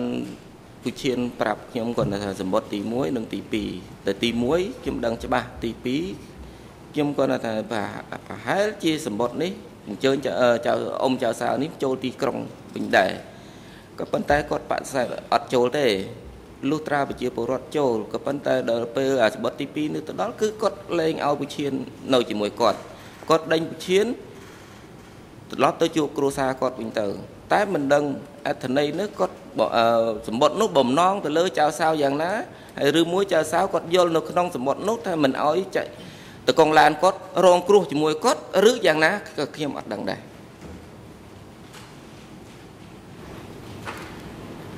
Thank you very much for clarifying that សាភិញ្ញាសូមអរគុណដែលលោកបានបំភ្លឺនេះជូនចំណុចនេះជូនតុលាការ You mentioned also លោកក៏បាននិយាយផងដែរថាលោកជឿថា Kyu Sampan លោក Kyu Sampan knew Chow Sao and had លោក Chow Sao I believe you may have said visited him លោកបាននិយាយថាលោកខៀវសំផនបានទៅលេងលោកចៅសាវទៀតផងនៅក្នុងឆ្នាំ1960 Phnom Penh in 1967ដែលលោកខៀវសំផនក៏បញ្ជាក់ដែរថាគាត់បានចាក់ចែងពីភ្នំពេញគឺឆ្នាំ1967ទេតើលោកអាចជំរាបតឡាការបានទេថាតើ activities សកម្មភាពការងារអ្វីខ្លះរបស់លោកចៅសាវ ចាប់ពីឆ្នាំ1960ចុងបាទចុងទសវត្សរ៍ឆ្នាំ1960រហូតមកដល់1975នោះតើលោកអាចជម្រាបតឡាការបានដែរឬទេកាលពីនោះពួកខ្ញុំនៅតូចតូចទេពេលដែលគាត់ជួបនឹងខៀវសំផនម្ដាយខ្ញុំក៏នៅផ្ទះឈើនៅខាងក្រោយផ្ទះលោកចៅសៅហ្នឹងគាត់ថាថ្ងៃហ្នឹងអ៊ំម៉ែងជួបខៀវសំផនមកហូបបាយជាមួយគ្នា អញ្ចឹងគាត់ឲ្យពួកខ្ញុំនឹងទៅផ្ទះឈើខាងក្រោយឯងអញ្ចឹងខ្ញុំមិនដឹងគាត់តំណាក់តំណងរឿងអ្វីជាមួយចៅសាវនិងអ៊ំសាវនិងលោកអ៊ំខៀវសំផនខ្ញុំមិនដឹងតំណាក់តំណងរឿងអ្វីគឺគាត់ទៅផ្ទះលោកចៅសាវនៅទួលកក្រោយផ្ទះសុសស្តែនគឺញឹកញាប់កាលនោះ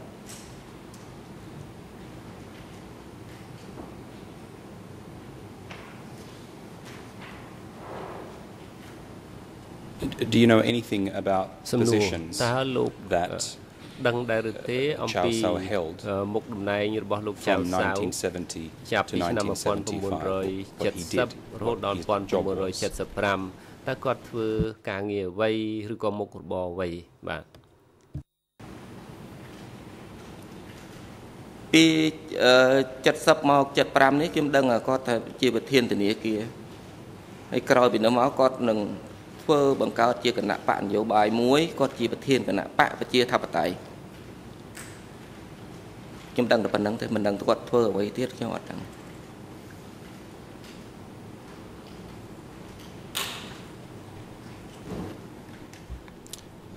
Thank you សាប្រិញ្ញាសូមអរគុណ because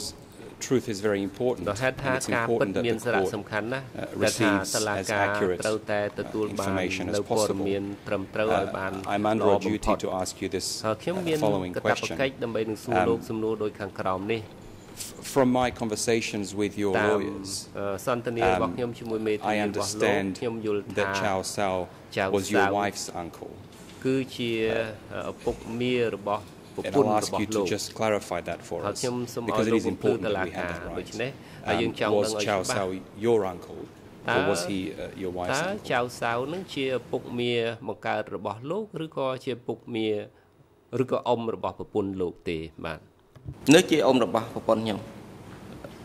គាត់ជាអ៊ំរបស់ប្រពន្ធខ្ញុំ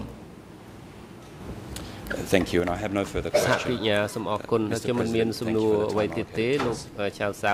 លោកប្រធានខ្ញុំអស់សំណួរនឹងសួរទៅដាំដឹងរដ្ឋវិនីហើយបាទអរគុណបានផ្ដល់វិធីការជូនទៅក្រមសហមេវីនៅមុខតំណាងដើមដឹងរដ្ឋវិនីដើម្បីមានឱកាសទៅសួរដេញដោលបន្ថែមលើអឺដើមដឹងរដ្ឋវិនីរូបនេះសូមអញ្ជើញ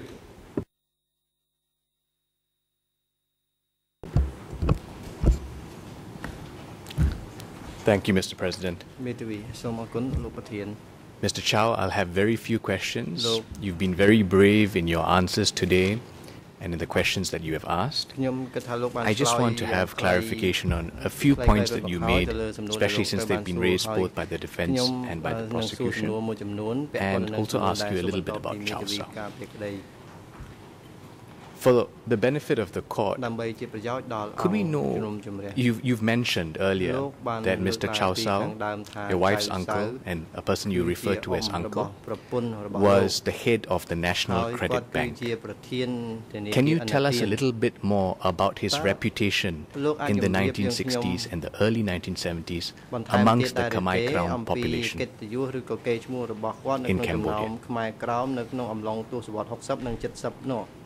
តើលោកអាចជួយបញ្យល់បន្ថែមបានដែរឬទេចឹងខ្ញុំសូមជម្រាបមេធាវីថាលោកចៅសៅគឺមនុស្សពិអស្ចារ្យដែលមនុស្សមកពីខ្មែរក្រមគឺអស្ចារ្យនៅកម្ពុជា ពីព្រោះគាត់ជាមនុស្សយុត្តិធម៌គាត់ជាមនុស្សមិនស៊ីសំណោក គាត់ធ្វើអ្វីដែលតាមកម្លាំងគាត់ដែលធ្វើបានគាត់នឹងជួយបណ្ដុះបណ្ដាលដល់ខ្មែរកម្ពុជាក្រមមករស់នៅកម្ពុជានេះឲ្យបានរៀនសូត្រមានកន្លែងធ្វើការទីកន្លែងស្នាក់នៅអញ្ចឹងនៅទីនេះគាត់មានឈ្មោះល្បីល្បាញនៅក្នុងភ្នំពេញនេះ Thank you. And given that he was quite famous amongst the Khmer Krom people, were there many Khmer Krom who also worked with him at the National Credit Bank, where he was the managing director? ដែរឬទេដែលនៅទីនោះគាត់គឺជាប្រធានគ្រប់គ្រងនោះនៅកាលនោះភាគច្រើនដែលមានខ្មែរកម្ពុជាក្រមដែលធ្វើនៅក្នុងធនាគារអន្តរជាតិ ដូចជាបងយ៉ាងសពថ្ងៃគាត់នៅរស់អីបងសូនខ្ញុំនេះចៅសូននេះក៏គាត់ស្លាប់នៅក្នុងរបបអឺលោកអ៊ំខៀវសំផនទៅមានភាគច្រើនដែលខ្មែរកម្ពុជាក្រមដែលធ្វើនៅក្នុងអន្តរជាតិដូចជាលោកចៅបានក៏គាត់ធ្វើនៅខាងសេដ្ឋខាងសូនព្រីមខាងលក់គ្រឿងសំណង់នៅទីនេះ ដែលផ្ទះដែលខ្ញុំជួលនៅជាមួយបងបងខ្ញុំជួលនៅនៅផ្សារអូឡ িম্প ិក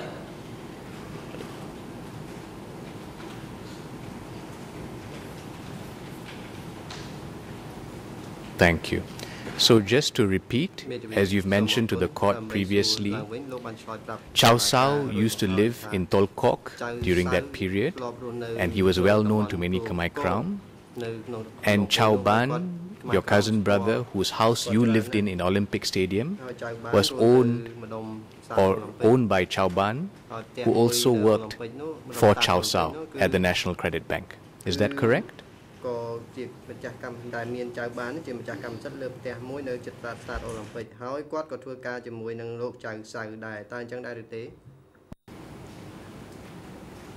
លោកចៅបានគាត់ធ្វើការផ្សេងពីលោកអ៊ំចៅសៅទេ គាត់ធ្វើខាងសូនព្រីមទេ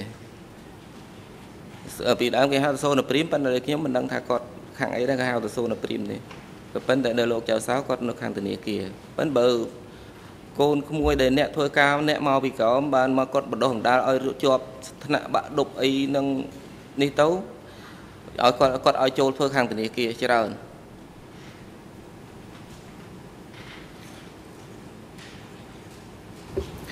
You mentioned earlier to the court, uh, Mr. Chowni, that you had heard from your mother and from your other relatives that Chow Sao would have known Q Sampan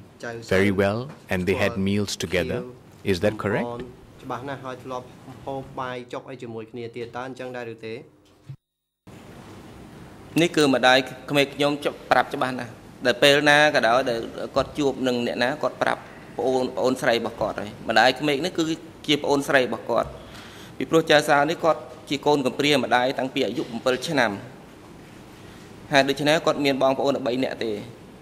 ហើយគាត់ស្រឡាញ់បងឪពុះមួយគាត់ណា3នាក់គ្នាគាត់នោះគឺស្រឡាញ់បំផុតក្រោយមកនៅតែម្ដាយខ្ញុំដែរដែលម្ដាយក្មេកខ្ញុំដែលគាត់ភៀសខ្លួនទៅកម្ពុជាក្រោមវិញនៅក្នុងឆ្នាំ74ដែលក្រោយមក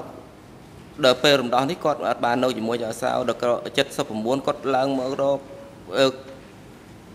ចៅសាវរកកូនគាត់កូនកូនបាត់ទាំងអស់ដែលនៅក្នុងនេះក្នុងក្នុងកម្ពុជាកម្ពុជានេះឡើងមកឆ្នាំម្ដាយខ្ញុំគាត់ឈឺចាប់ឈួតសឹងឈួតអញ្ចឹងហើយគាត់ជួយណាស់ដែលអ្នកមកពីខ្មែរកម្ពុជាក្រម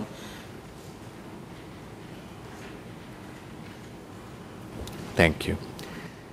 Mr. Chowni, you mentioned earlier about the radio broadcasts on the national radio that were going on in 1975 after the Khmer Rouge came into power. And you said that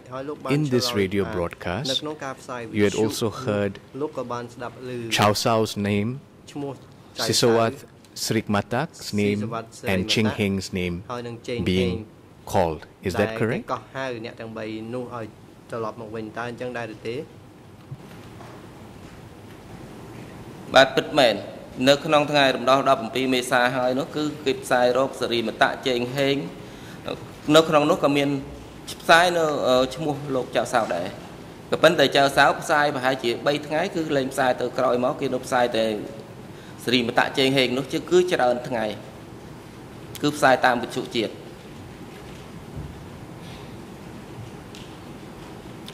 I see. So just to clarify, when you heard the names of all the, these three people,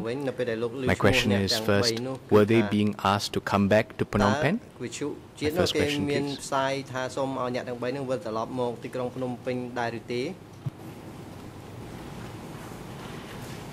នៅកាលនោះបើខ្ញុំមិនច្រឡំទេគឺពីព្រោះគេផ្សាយអ្នកទាំងអស់នេះឲ្យចូលមកទីក្រុងភ្នំពេញពេញវិញពីព្រោះអ្នកនៅធ្វើការកន្លែងណាគេឲ្យធ្វើការកន្លែងហ្នឹងវិញ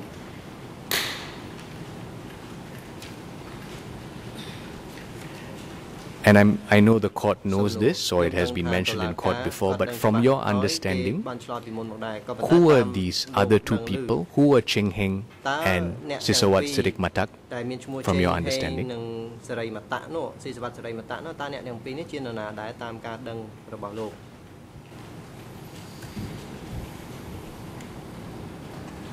អ្នកទាំងពីរនេះគឺការពីចន្លោះ70មក75នេះគឺគាត់ជា ថ្នាក់ដឹកនាំកម្ពុជានៅក្នុងកម្មនៅក្នុងអឺរាជរដ្ឋាភិបាលឡុងណុល Okay. So two high-level members of the Lon Nol government and Mr. Chow Sao, a very well-known Khmer Kram national banker, were asked to return to Phnom Penh soon after the Khmer Rouge came into power. That's your evidence. Why do you think that in following radio broadcasts a few days later, Mr. Chow Sao's name was not included anymore. In your view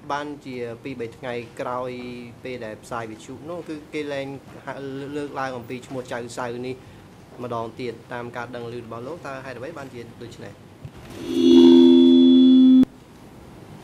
ក្រោយពីនោះមកខ្ញុំលែងដឹងប្រហែលលែងដឹងអីលែងយល់ទៀតក៏ពីព្រោះអ្នកធ្វើការកម្ពុជាដូចជាជេងហេងឡុងរ៉េតស៊ីសវត្តស្រីមតៈនេះគាត់ជាអ្នកកម្ពុជាហេតុអ្វីបានជាមានចៅសៅគាត់ជាប្រធានធនាគារមួយតែប៉ុណ្ណោះទេគេក៏ក៏ប្រកាសហៅតាមវិទ្យុ ដែរនៅខ្ញុំមិនយល់ពីមូលហេតុពីរបស់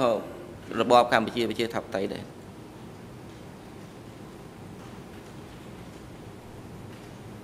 ហើយឬមួយគាត់ជាខ្មែរក្រោមជាជនជាតិខ្មែរក្រោមក៏គេកោះមកនេះគឺគេយល់ឃើញថាចៅសោនេះជាខ្មែរខ្មែរកម្ពុជាក្រោមក៏ខ្ញុំមិនយល់មិនដឹងដែរ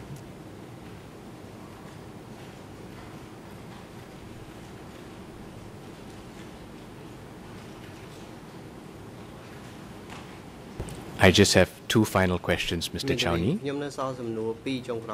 First question, if we could just go back very quickly to the second letter that you mentioned earlier. So as you have told the court, there were two times, from what you've heard from Mr. Cheng, the driver, there were two times that Mr. Chow Sao was met with by Khmer Rouge soldiers and two times that he was given a letter. I'm referring now to the second time. The second time that the soldiers met Mr. Chow Sao and they gave him a letter, you've told the court that Mr. Chow Sao asked his driver to return home to his family. And after that, no one knows what happened to Mr. Chow Sao, and he's never been found again. In your view, why do you think Mr. Chow Sao asked his driver to return home safely to his family and not to accompany him anymore?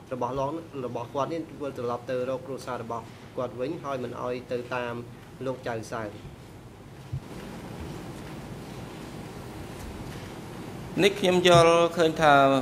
សម្បត្តិទី2នេះប្រហែលជាមានបញ្ហាជាមួយលោកចៅសាវហេតុដូច្នេះហើយបានគាត់ដេញពូឈៀនជាតកងឡាននោះឲ្យត្រឡប់ទៅរកគ្រួសារនេះខ្ញុំដូចលើកម្ដងហើយម្ដងទៀតថាបាទនៅពេលនោះប្រហែលជាខ្មែរក្រហមគាត់ខាងកម្ពុជាប្រជាធិបតេយ្យនេះគាត់នឹកឃើញថាចៅសោនេះជាខ្មែរកម្ពុជាក្រោម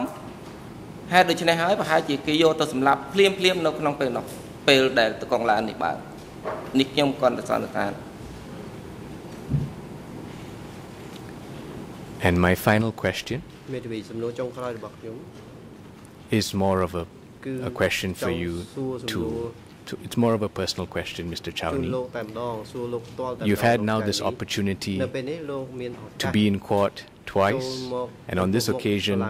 answer questions regarding this issue regarding Mr. Chow Sao. Can you explain to the court perhaps why it has been so important for you to find out the truth about your relative and your wife's late uncle, Mr. Chow Sao? Please let the court know in your own feelings.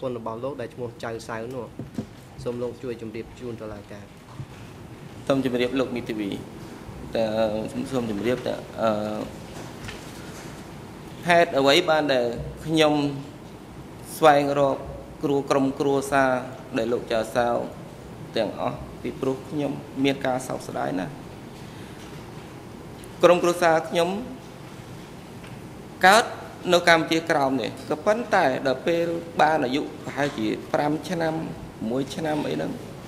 គាត់យកមកឲ្យនៅជាមួយចៅសាវដើម្បីឲ្យរៀនសូត្រនៅនៅនៅកម្ពុជានេះនៅភ្នំពេញនេះហេតុដូច្នេះហើយមិនមែនតែក្រុមគ្រួសារខ្ញុំតែប៉ុណ្ណោះទេគាត់ជួយដល់ខ្មែរក្រមដទៃទៀតឲ្យមករៀនសូត្រនៅកម្ពុជានេះបានច្រើនច្រើនគ្នាពីព្រោះនៅកម្ពុជានេះអ្នកណាក៏ដឹងថាលោកចៅសាវមនុស្សចិត្តល្អឲ្យតែមានសាច់ញាតិឲ្យឲ្យតែខ្មែរកម្ពុជាក្រមឡើងមកគឺគាត់នឹងជួយបណ្ដុះបណ្ដាលហើយ ហើយដូច្នេះហើយខ្ញុំសោកស្ដាយណាស់ដែលគ្រួសារខ្ញុំបាត់លោកចៅសៅមួយមិនមែនតែមួយទេបាត់ច្រើនគ្នាក៏ប៉ុន្តែខ្ញុំសោកស្ដាយបំផុតទៅលើលើ ông ចៅសៅ Thank you, Mr. Chowni. Mr. President, I'm just going to hand it over to my learned senior, Mr. Ang Pik. លោកប្រធានខ្ញុំសូមអនុញ្ញាតផ្ដល់វេទិកានេះបន្តទៅឲ្យលោកពេជ្រអង្គសូមអរគុណ បាទសូមគ្រប់លោកធានសូមគ្រប់លោកលោកស្រីចៅក្រមអង្គសាវនាការទាំងមូលដើមម្ដងរដ្ឋវិនិច្ឆ័យនិងសាធារណជនសូមជម្រាបសួរលោកចៅនេះខ្ញុំមានសំណួរមួយចំនួនដើម្បីសួរបញ្ជាក់បន្ថែមទៅលើសំណួរដែលត្រូវបានសួរកន្លងមកមកលើលោកជាបឋមចង់សួរបញ្ជាក់អំពីបុគ្គលភាពរបស់លោកឈៀងដែលជាអ្នកបើកបរតើលោកអឺ ធ្លាប់ជួបលោកឈៀងនឹងពីមុនទេមុន17មេសាឆ្នាំ1975នឹងហើយប្រសិនបើលោកធ្លាប់ជួបគាត់តើលោកយល់ថាគាត់ជាមនុស្សយ៉ាងម៉េចដែរជាមនុស្សម៉ត់ចត់ដែរទេបាទសូម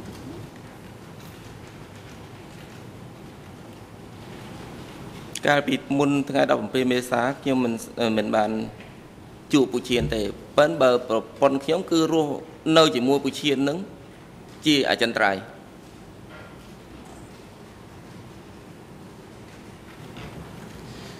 តើប្រពន្ធរបស់លោកនឹងមានយល់យ៉ាងដូចម្ដេចដែរពីពូឈៀងហ្នឹងថាតើ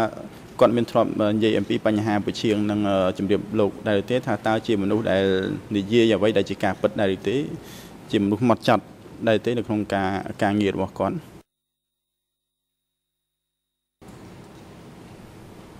ប្រពន្ធរបស់ខ្ញុំបាននិយាយប្រាប់ខ្ញុំថាអ៊ំខ្ញុំចៅសៅនេះមុននឹងរើសអ្នកបើកបោះគឺគាត់បានយល់ពីទឹកចិត្តមនុស្សច្បាស់ណាស់ពីព្រោះពូឈៀនមនុស្សមិនចេះនិយាយកុហកហើយក៏មិនចេះនិយាយលេងប៉ែប៉ោដែរគឺគឺមនុស្សគឺស្មោះត្រង់នឹង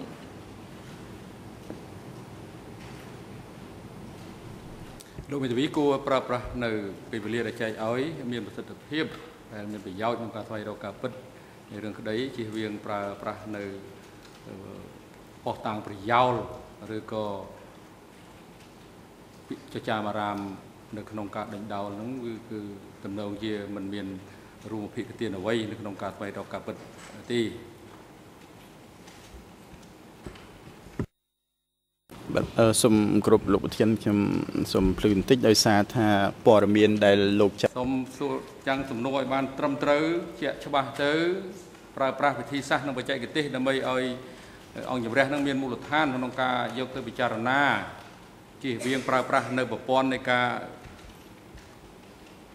សំណួរដែលសួរដោយយោងផ្អែកទៅលើការចចាមរាម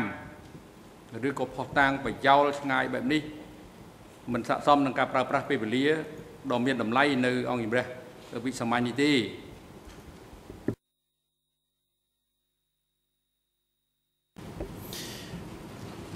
អឺ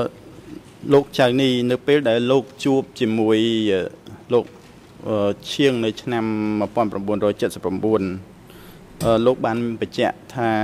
គឺលោកបានជួបនៅក្នុងពេលនោះគឺមានវត្តមានរបស់ប្រពន្ធរបស់លោកហើយនិងម្ដាយក្មេករបស់លោក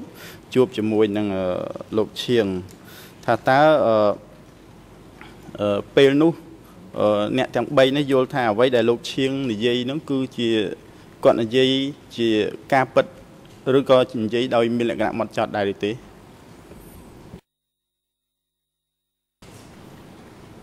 ខ្ញុំយល់ថាពិឈានគាត់គឺនិយាយការពិតពីព្រោះគាត់នៅជាមួយចៅចៅសៅនេះបើកឡានតាំងពីចៅសៅគាត់ធ្វើជាប្រ ធានធនាគារអន្តទានជាតិនោះមកគឺពិឈាននឹងគឺបើកឡានឲ្យចៅសៅនោះរហូតហេតុដូច្នេះហើយខ្ញុំថាពិឈានគាត់គឺជាមនុស្សមិននិយាយកុហកគឺនិយាយពិត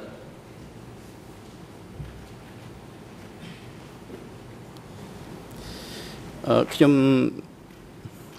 ចង់បញ្ជាក់ថែមបន្តិចទៀតថានៅក្នុងព័ត៌មានដែលពូឈៀងដែលបានជូនដល់លោកហ្នឹងថាតើ គាត់មានគាត់មានបញ្ជាក់ថាតាហ៊ានទាំងពីរនាក់នោះគឺជាតាហ៊ាន នៅ ខាងណាដែរទេ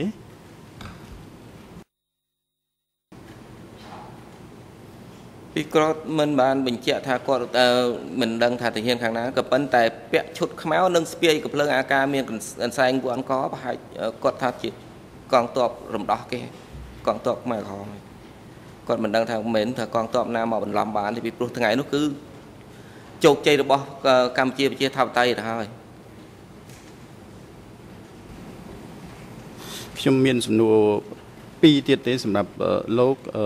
សំណួរទី1មុនចុងក្រោយ គឺថាតើ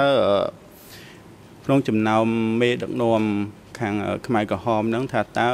អ្នកណាដែលជាអ្នកមានទំនាក់ទំនងចិត្តស្និទ្ធជាងគេជាមួយនឹង អ៊ំរបស់លោកហ្នឹងតើលោកអាចរៀបរាប់បានមួយចំនួនទេអ្នកដែលមានទំនាក់ទំនងចិត្តស្និទ្ធសូមជម្រាបលោកសហមេធាវីនាំមកខ្ញុំថាអ្នកតំណាក់តំណងនៅក្នុងរបបខ្មែរក្រហមជាមួយអ៊ំខ្ញុំនេះគឺមានលោកអ៊ំខៀវស្ផនមួយទេដែលចិត្តស្និទ្ធជាមួយលោកអ៊ំចៅសោខ្ញុំ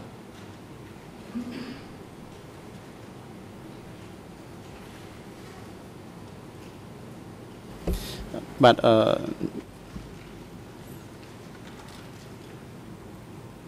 ថាតើអ្វីអ្វីដែលបាទខ្ញុំខ្ញុំមិននឹងមិនសួរសំណួរចុងក្រោយរបស់ខ្ញុំទេហើយខ្ញុំសូមបញ្ចប់សំណួររបស់ខ្ញុំពេលនេះអឺសូមអរគុណលោកប្រធានសូមអរគុណលោកដើមបណ្ដឹងរដ្ឋវិញនេះដែលខំប្រឹងឆ្លើយនៅសំណួររបស់យើងខ្ញុំបាទសូមអរគុណបាទមេធាវីការពេលក្តី គឺសម្ផនមានអីចង់បន្ថែមទេ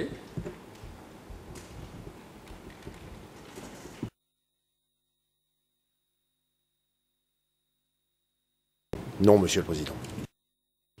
បាទលោកធានអត់មានអីចង់បន្ថែមទេលោកធានបាទអរគុណហើយកាលនេះអង្គជំរះបានជម្រាបជូនលោករួចហើយមិញមិញនេះគឺថាអង្គជំរះនៅតែផ្ដល់ឱកាស ជូនលោកក្នុងនាមដើមដឹងរដ្ឋប្រវេណីដើម្បីលោកមានអាចប្រើសិទ្ធិរបស់លោកក្នុងការថ្លែងរៀបរាប់អំពីស្ថានភាពទុកវេទនានិងស្ថានភាពផ្ទះកម្មទាំងឡាយដែលកើតមានចំពោះលោកហើយជាអាចខូចខាតខាងផ្លូវចិត្តផ្លូវកាយសម្ភារៈការផ្ទះសនកម្មផ្ទាល់ខ្លួនដែលជាបច្ច័យដែលផ្ទាល់នៃបទក្រិតនិងកើតមានពិតប្រាកដរហូតដល់បច្ចុប្បន្នដែលពាក់ព័ន្ធទៅនឹងបទក្រិតដែលចោទប្រកាន់ទៅលើជនជាប់ចោត ដែលប៉ះពាល់ក្នុងអំឡុងរបបកម្ពុជាប្រជាធិបតេយ្យប្រសិនបើលោកមានបំណងធ្វើដូច្នេះសូមអញ្ជើញ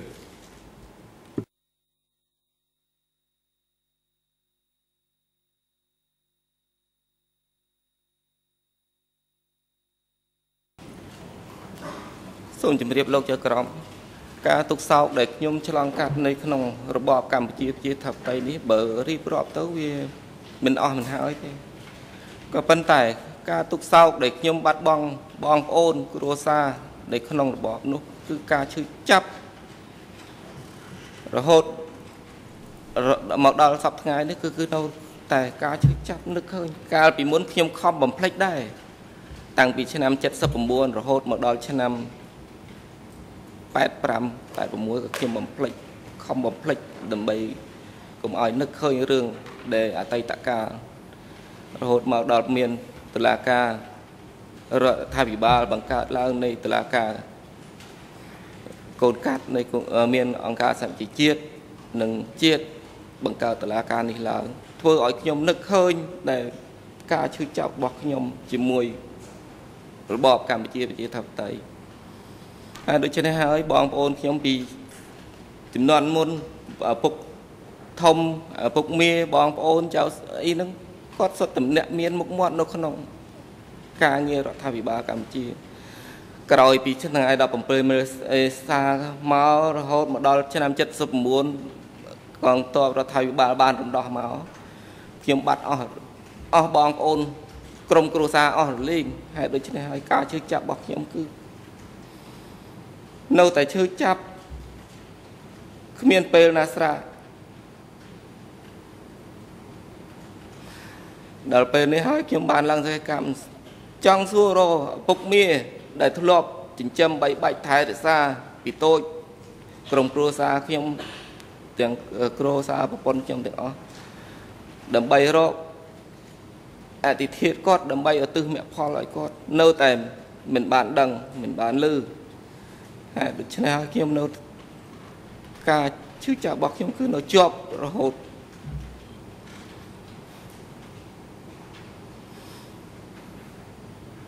នៅក្នុងពេលនោះ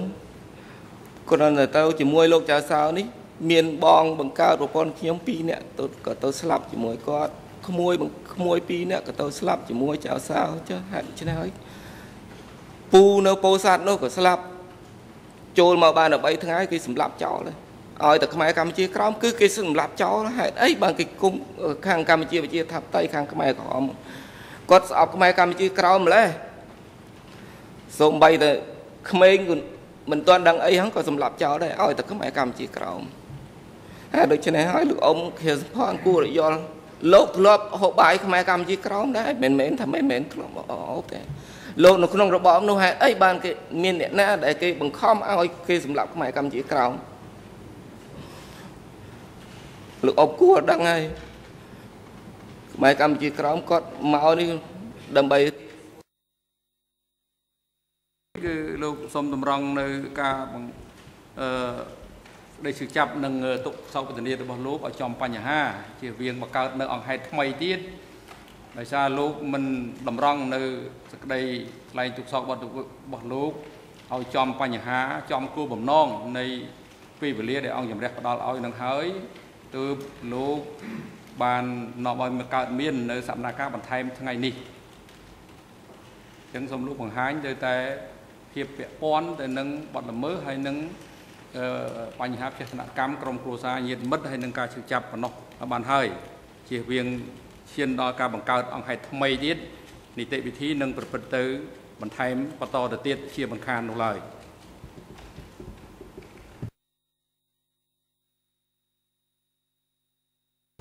ការទុកសោរបស់ខ្ញុំគឺមានអ្វីក្រៅពីបាត់បង់ សាច់ញាតិឪពុកម្ដាយឬឪពុកមានិងពូរបស់ខ្ញុំទេអញ្ចឹងខ្ញុំគ្មានអ្វីតទៅមុខទៀតទេខ្ញុំបាទសូមនិយាយតែប៉ុណ្្នឹងសិនបាទសូមអរគុណលោកចក្រម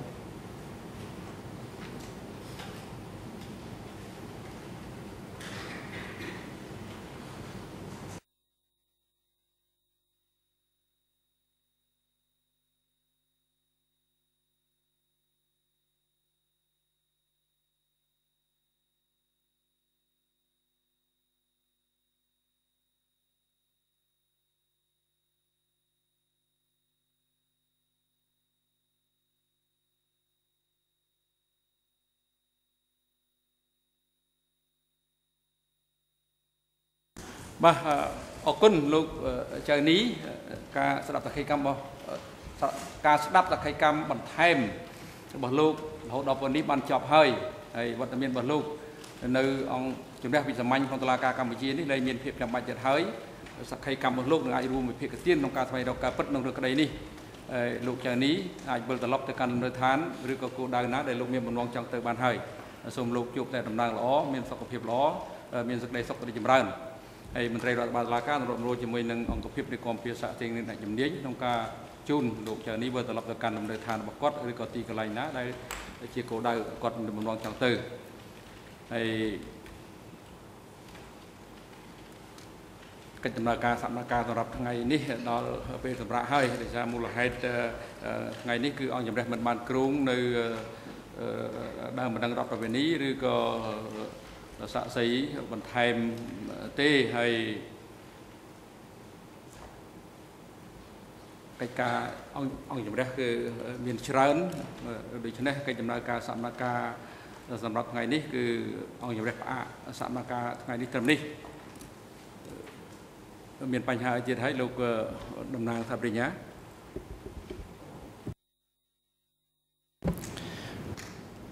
Mr. President, I, I do apologize for, uh, for delaying the conclusion of proceedings. I'll, I'll, be extremely brief. I'm on my feet simply out of abundance of caution. Um, we didn't have notice prior to this morning's hearing that Q Sampan would be answering questions. Um, and uh, of course, as you have indicated, Mr. President, on prior occasions, he has not exercised his right to remain silent. Um, the reason I, am on my feet is because I want to make sure that uh, in, in, future proceedings, uh, the allegation is not made that the prosecution has waived its rights to, to examine the accused. Uh, under Rule 90, uh, of course, the, the, the, the Chamber uh, has a duty to examine the accused, and the prosecutors and other parties have a right to question the accused. Um, and I'm on my feet to make sure that, um, that everybody is informed that the prosecution insists on being afforded that right, um, and to respectfully uh, ask the chamber, if, if possible, to take this into account in your scheduling in, this, in these final stages of the trial. Um, if possible, uh, we're of the view that it would be helpful to give as much notice to the accused uh, as well as to other parties of when uh, his questioning is to be scheduled so that we can all be prepared and the proceedings can, can unfold in an orderly manner. that, that is my application. ជាខ្ញុំនេះជាការលើកឡើងរបស់ខ្ញុំលោកប្រធានបាទជួយចេញចេញចុះលោកចៅនេះបាទជួយភាគីពាក់ព័ន្ធដទៃទៀតសូមជួយមានមតិយោបល់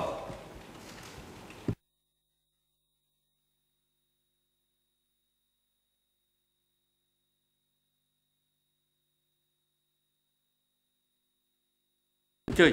លោកមេធាវីសហមេធាវីនៅមុខកម្លាំងដើមនឹងរដ្ឋប្រវិនី បាទសូមគោរពលោកប្រធានអឺអឺសម្រាប់ខាងដើមបណ្ដឹងរដ្ឋវិនីអឺនៅពេលដែលដើមបណ្ដឹងរដ្ឋវិនីមាន សំណួរហើយអឺសំណួរនេះត្រូវសួរជូនទៅជនជាប់ចោតសំណួរដើមបណ្ដឹងរដ្ឋវិនីលើកសំណួរដោយយល់អំពីសារៈសំខាន់ថាប្រសិនបើជនជាប់ចោតឆ្លើយវានឹងអាចដោះស្រាយនឹងបញ្ហាផ្លូវចិត្តរបស់គាត់ បានមួយចំនួនដូច្នេះវាជាសារៈសំខាន់មួយណាស់សម្រាប់ខាងដើមម្ដងរដ្ឋវិញនេះដែលមានការឆ្លើយអំពីជនជាប់ចោតនេះហើយជាការល្អមួយដែលហើយដោយគ្រប់គ្រងទៅលើអ្វីដែលសហប្រញ្ញាបានលើកនេះជាការល្អដែរប្រសិនបើមុននឹងឆ្លើយនេះ លទ្ធភាពនេះគួរផ្ដល់ជាព័ត៌មានដល់យើងខ្ញុំដែលជាភាគីទាំងអស់គ្នាផងដែរហើយម្យ៉ាងទៀតខ្ញុំគាត់សូមធ្វើការកត់សម្គាល់មួយទៀតនៅពេលដែលដើមបណ្ដឹងរដ្ឋវិនីលើកអំពីផ្ទះសនកម្មឬជាការឈឺចាប់របស់គាត់វាជាការធម្មតាទេដែលអាចក្នុងពេលដែលគាត់លើកអំពីបញ្ហាអស់នេះមានអង្គហេតុអ្វីមួយដែលដែលពាក់ព័ន្ធទៅនឹងផ្ទះសនកម្មរបស់គាត់ត្រូវបានលើកឡើងដូច្នេះអឺ យើងខ្ញុំយើងខ្ញុំសូមគាត់កាត់សម្គាល់ថានេះជាការធម្មតាដែលអាចកើតមានទេហើយវាមិនអាចជាកំហុសអ្វីមួយឬក៏បញ្ហាអ្វីមួយដែលគាត់និយាយក្រៅអំពីអឺវិសាលភាពនៃការថ្លែងអំពីការឈឺចាប់ឬក៏ផ្ទះសនកម្មរបស់គាត់នោះទេបាទខ្ញុំសូមលើកតែប៉ុណ្ណេះសូមអរគុណលោកប្រធានអញ្ជើញមេធាវីការពីក្តីគឺសម្ផន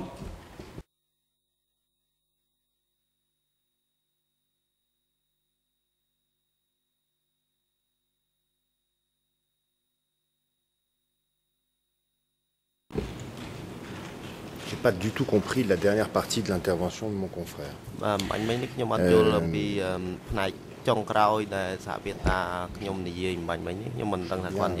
Monsieur le Président, au reste, euh,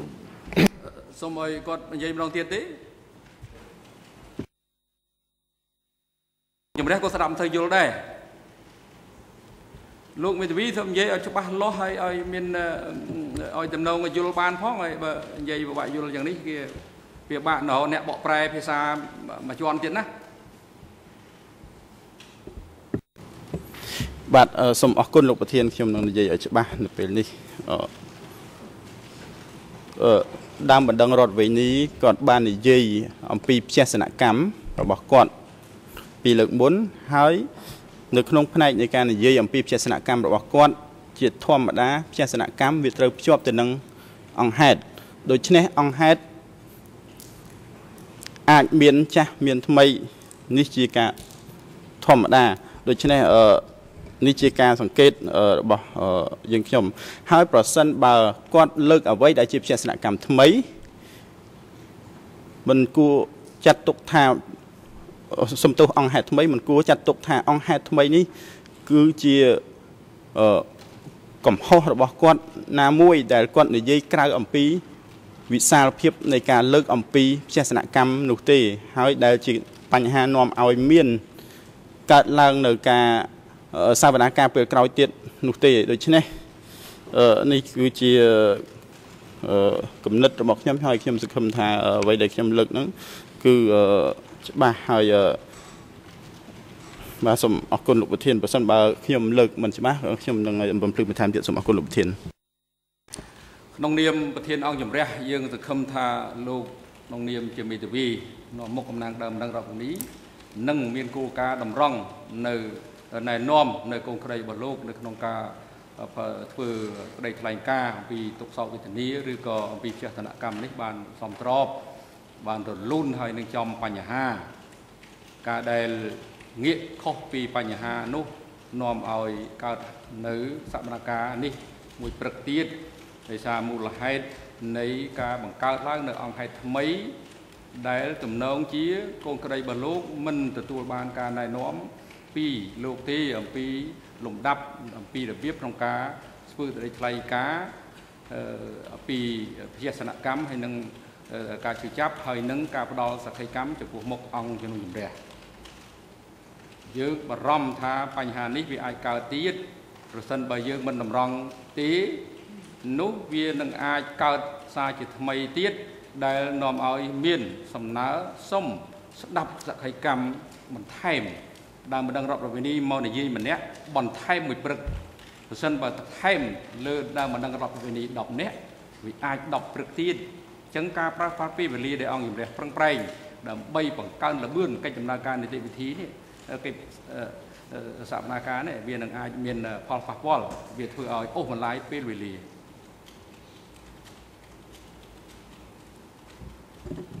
សូមអញ្ជើញលោកមេធាវីការពីក្តីលោកខៀវសំផន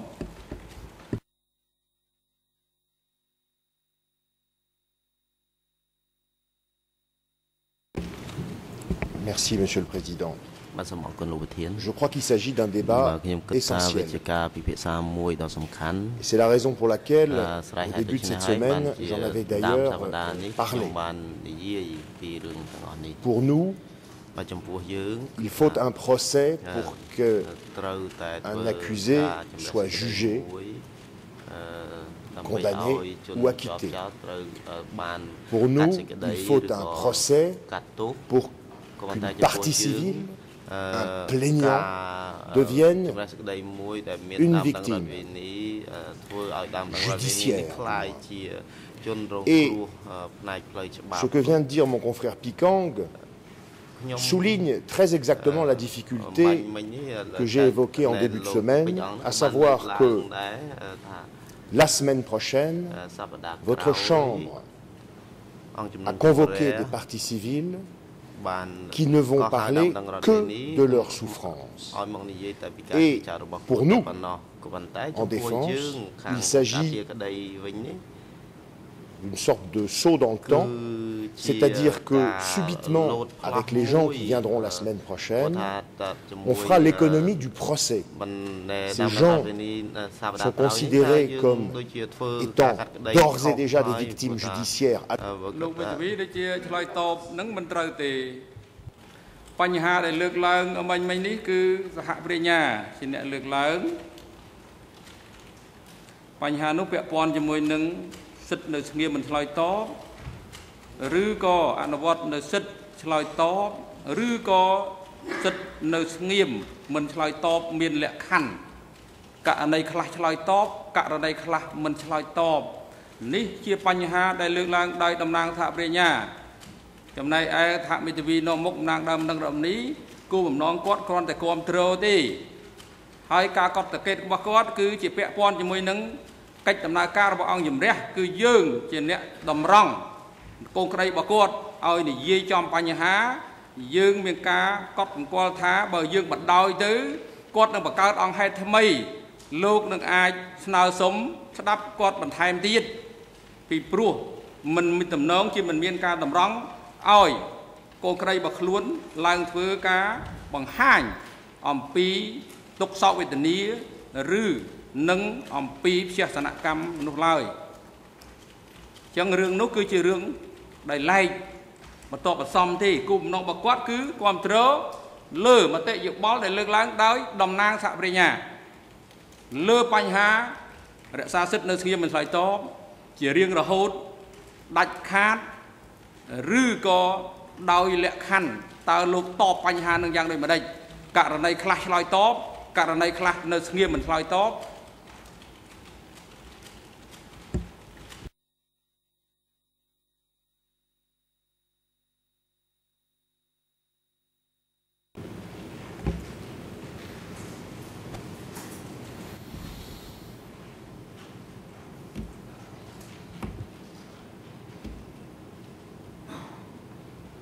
Ce que je veux juste dire, Monsieur le Président, c'est qu'on vient parler de souffrance sans parler de fait qui ces C'est très exactement ce que vient de reconnaître mon confrère pour la partie civile. Pour ce qui concerne la demande, j'ai pas vraiment d'ailleurs compris s'il s'agissait d'une demande ou l'occasion pour le procureur de marquer son souhait euh, qu'il ne soit pas considéré qu'il renonçait à poser des questions à M. Sampan. Il y a plusieurs degrés dans sa, sa, sa, demande. Il y a d'abord ces remarques finales qui portent sur la nécessité pour l'accusation de pouvoir s'organiser. Nous avons demandé une audience de mise en état. Au jour d'aujourd'hui, Monsieur le Président, moi, mon confrère, mes confrères, toutes les parties ici ignorent quel est le programme de votre chambre à part la semaine prochaine?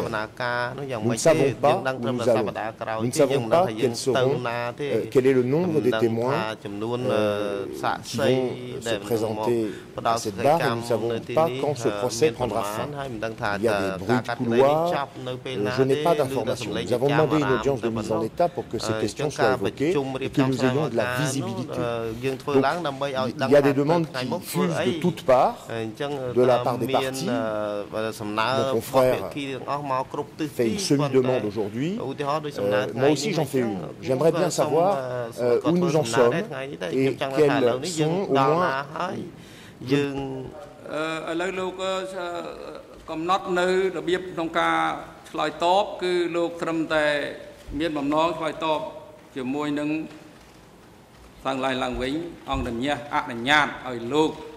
ធ្វើការកត់សម្គាល់ឬក៏ឆ្លើយតបទៅនឹងសំណើសុំឬក៏អ្វីដែលបានលើកឡើងដោយតំណាងសហប្រញ្ញាអន្តរជាតិពាក់ព័ន្ធជាមួយនឹងសិទ្ធិនៅស្ងៀមមិនឆ្លើយតបឬក៏សិទ្ធិនៅស្ងៀមមិនឆ្លើយតបមានលក្ខខណ្ឌរបស់កូនក្តីរបស់ខ្លួនចាប់ពីពេលនេះទៅរហូតដល់កិច្ចដំណើរការសកម្មភាពចប់ នៅក្នុងកិច្ចដំណើរការពិភាក្សាកន្លងមកគ្រប់ពេលទាំងអស់យើងមិនទាន់លឺសោះទើបតែលឺថ្ងៃនេះទេថាលោកអត់បានដឹងថាអង្គជំរះនឹងប្រាប់ជំរាបទៅភិក្ខីឲ្យធ្វើអីខ្លះប្រហែលសប្តាហ៍មុនហើយភិក្ខីពាក់ព័ន្ធទាំងអស់ដែលអត់មានដែលលើកលើសោះទើបតែលោកមួយគត់ដែលលើកបញ្ហានេះ ប៉ុន្តែថ្ងៃនេះយើងទុកម្ដុំសិនបញ្ហានេះយើងទឹកជែកនឹងគ្នានៅពេលក្រោយនៅពេលរៀបចំសកម្មភាពមួយដែលឡែកផ្សេងទៀតប៉ុន្តែឥឡូវនេះកម្រិតត្រឹមតែលោកកត់សម្គាល់ឬក៏មានអ្វីដែលឆ្លើយតបជាមួយនឹងអ្វីដែលលើកឡើងដោយតំណាងសហប្រញ្ញាអន្តរជាតិនេះដែរទេបើមានបញ្ហាទៀតយើងនឹងធ្វើសកម្មភាពតទៀតយើងដើម្បីតម្រាក់សិនហើយនឹងបន្តសកម្មភាពទៀត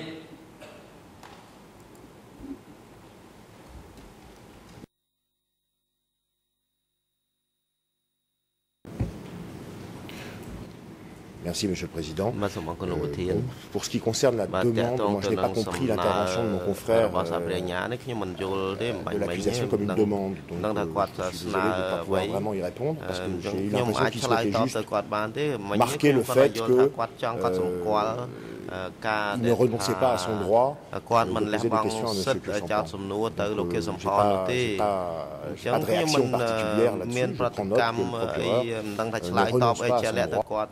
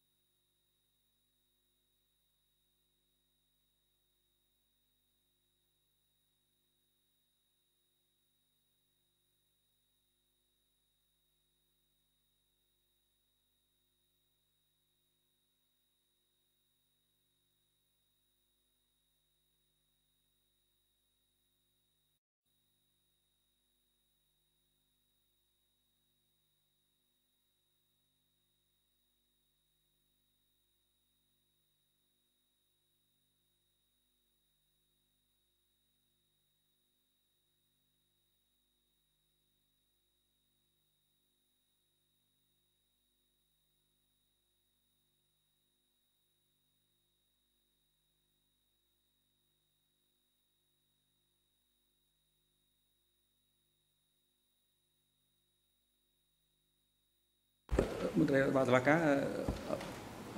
បដូរទៅនេះបដូរហើយ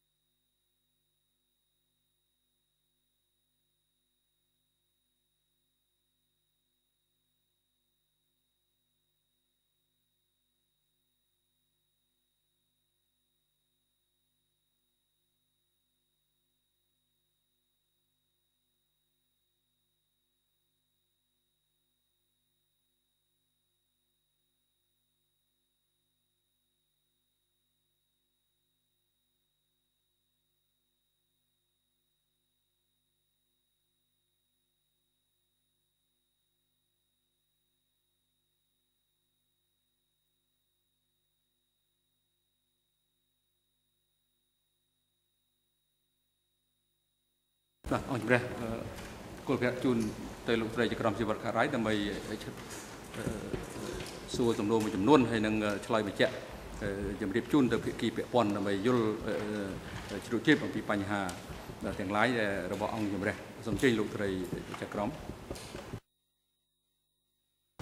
Yes, there are two matters that the President has asked me uh, to uh, comment on. Uh, they are interlinked. The first is the matter raised uh, by the co-prosecutors, which um, leaves the chamber uh, with this specific question for the accused Nguyen Chia and Kyo Pon. Do they intend to uh, elect to retain their right to remain silent, or will they answer questions? Now, Mr. Kyo Sampan may well be in a position to confirm that now. Mr. Nguyen Chia may need a little more time, uh, and Council can advise the Chamber how much time they need to answer that question. That then gives rise to the uh, management issues, contrary to what Mr. Verkin has indicated, the trial chamber is planning a trial management meeting. It takes time to plan the agenda and the Chamber also needs to know basic information such as those questions that have just been asked. It is intended to have such a trial management meeting within the next few weeks, uh, and Council and the parties will be informed of the agenda as soon as we have had time to meet to clarify it. During that trial management meeting, should the accused elect to answer questions, the Chamber will be asking the other parties how much time they estimate that they will need to put questions to the two accused. And finally, it should be emphasized that Kyo Sampan and Nguyen Chia will both have the opportunity during submissions to make statements. This is a separate issue altogether. Now, do the parties understand now? Uh, and uh, Mr. Kyo Sampan, are you able now to tell the Chamber whether you wish to uh, speak as you, uh, whether you wish to answer questions as you have indicated? Previously, or whether you wish to retain your right to remain silent. Mr. Kelsam.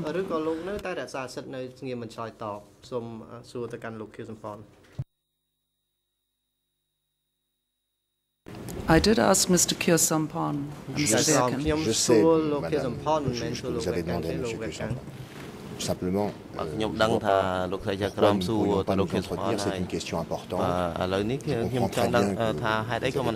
ក្សាគ្នាសិនព្រោះថានេះបញ្ហា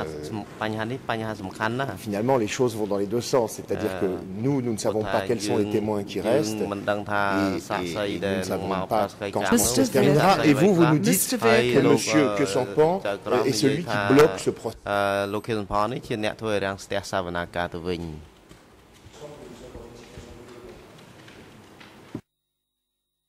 Mr. Verkin, that was not the question that was asked. As part of the planning for the final stages of the trial, it is necessary to find out whether the accused intend to exercise their right to remain silent, and time will then be allocated if they choose to answer questions. This is part and parcel of everyday trial management, including remaining witnesses. And you will be informed as soon as we are in a position to give you that final information. Now, Mr. Kyo Sampan, I would be very grateful if you could indicate to the Chamber whether you are uh, prepared to answer questions. Of course, the chamber will accommodate um, your needs if you um, feel you can't speak for a very long time or any matters like that, we will certainly take that into account. But we do need this basic information now, and I'm sure you understand that. Thank you.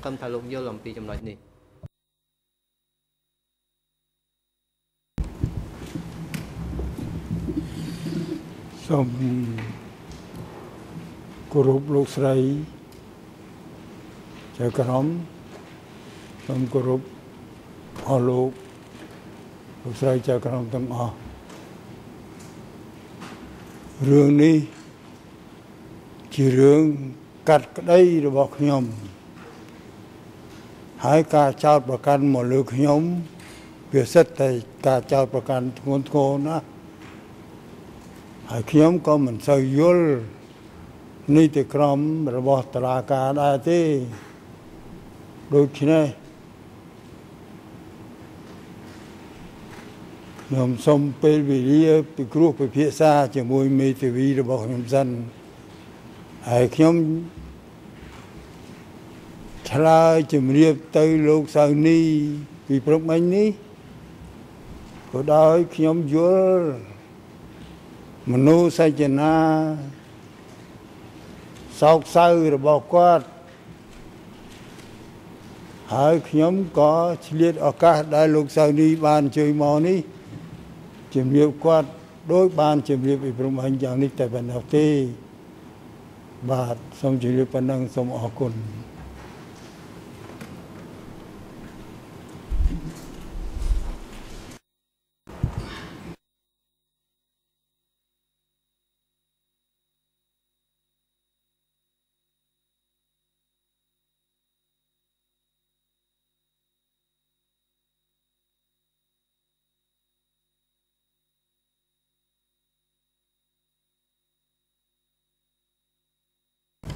Yes, um, thank you, President. Um, the, uh, we note we note what you have said, uh, Mr. Kyo Sampan.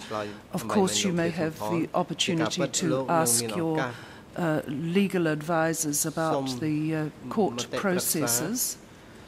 Um, uh, we are agreed that both you and Nguyen Chia will have until Monday morning at 9 a.m. to inform the trial chamber of your decisions. Mr. Kopi, is that uh, acceptable also to you? តើអាចទទួលយកបានទេពេលវេលាដែលផ្ដល់ជូនបែបនេះ Um I think so មេធាវីកូពេខ្ញុំគិតថាសមស្របហើយលោកស្រីចៅក្រមបាទអរគុណលោកស្រីចៅក្រមបាទហើយ អង្គជំរះប្រកាសផ្អាកកិច្ចដំណើរការសកម្មភាពសម្រាប់ថ្ងៃនេះត្រឹមនេះសកម្មភាពលើកទៅបន្តធ្វើនៅថ្ងៃច័ន្ទទី27ខែឧសភាឆ្នាំ2013ចាប់ផ្ដើមពីម៉ោង9ព្រឹកទៅហើយសកម្មភាពនៅថ្ងៃច័ន្ទសប្តាហ៍ក្រោយនេះអង្គជំរះនឹងធ្វើសកម្មភាពស្ដាប់ដើមបណ្ដឹងរដ្ឋនីមួយចំនួនដែលនឹងថ្លែងរៀបរាប់អំពីស្ថានភាពភេសនកម្មនិងសេចក្តីទុកសោកវេទនារបស់ពួកគេនៅក្នុងរបបកម្ពុជាប្រជាធិបតេយ្យហើយសូមភាគីនៃរឿងក្តីនិងសាធារណជនជ្រាប ហើយប្រកបឲ្យអនុរិយមន្ត្រីគុំខាំងនាំខ្លួនជនជាប់ចោតនៅពីររូបគឺលោកខៀវសំផននិងលោកលួនជាត្រឡប់ទៅកាន់មន្ត្រីគុំខាំងនៃអវតកវិញចុះនិងបង្កប់ឲ្យនាំខ្លួនពួកគាត់ទាំងពីររូបមកយករួមសកម្មភាពនេះវិញនៅថ្ងៃច័ន្ទទី27ខែឧសភាឆ្នាំ2013ហើយបានមុនម៉ោង9ព្រឹកដោយឡែកលោកលួនជាបង្កប់ឲ្យនាំខ្លួនគាត់មកនៅត្រឹមបន្ទប់ឃុំខ្លួនមួយនៅក្រៅក្រោមសាលសកម្មភាពនេះដែលរៀបចំសម្រាប់គាត់អាចចូលរួមនៅតាមដានកិច្ចដំណើរការសកម្មភាពពីចម្ងាយសម្រាប់ចុះ សូមចេញក្រៅឈើ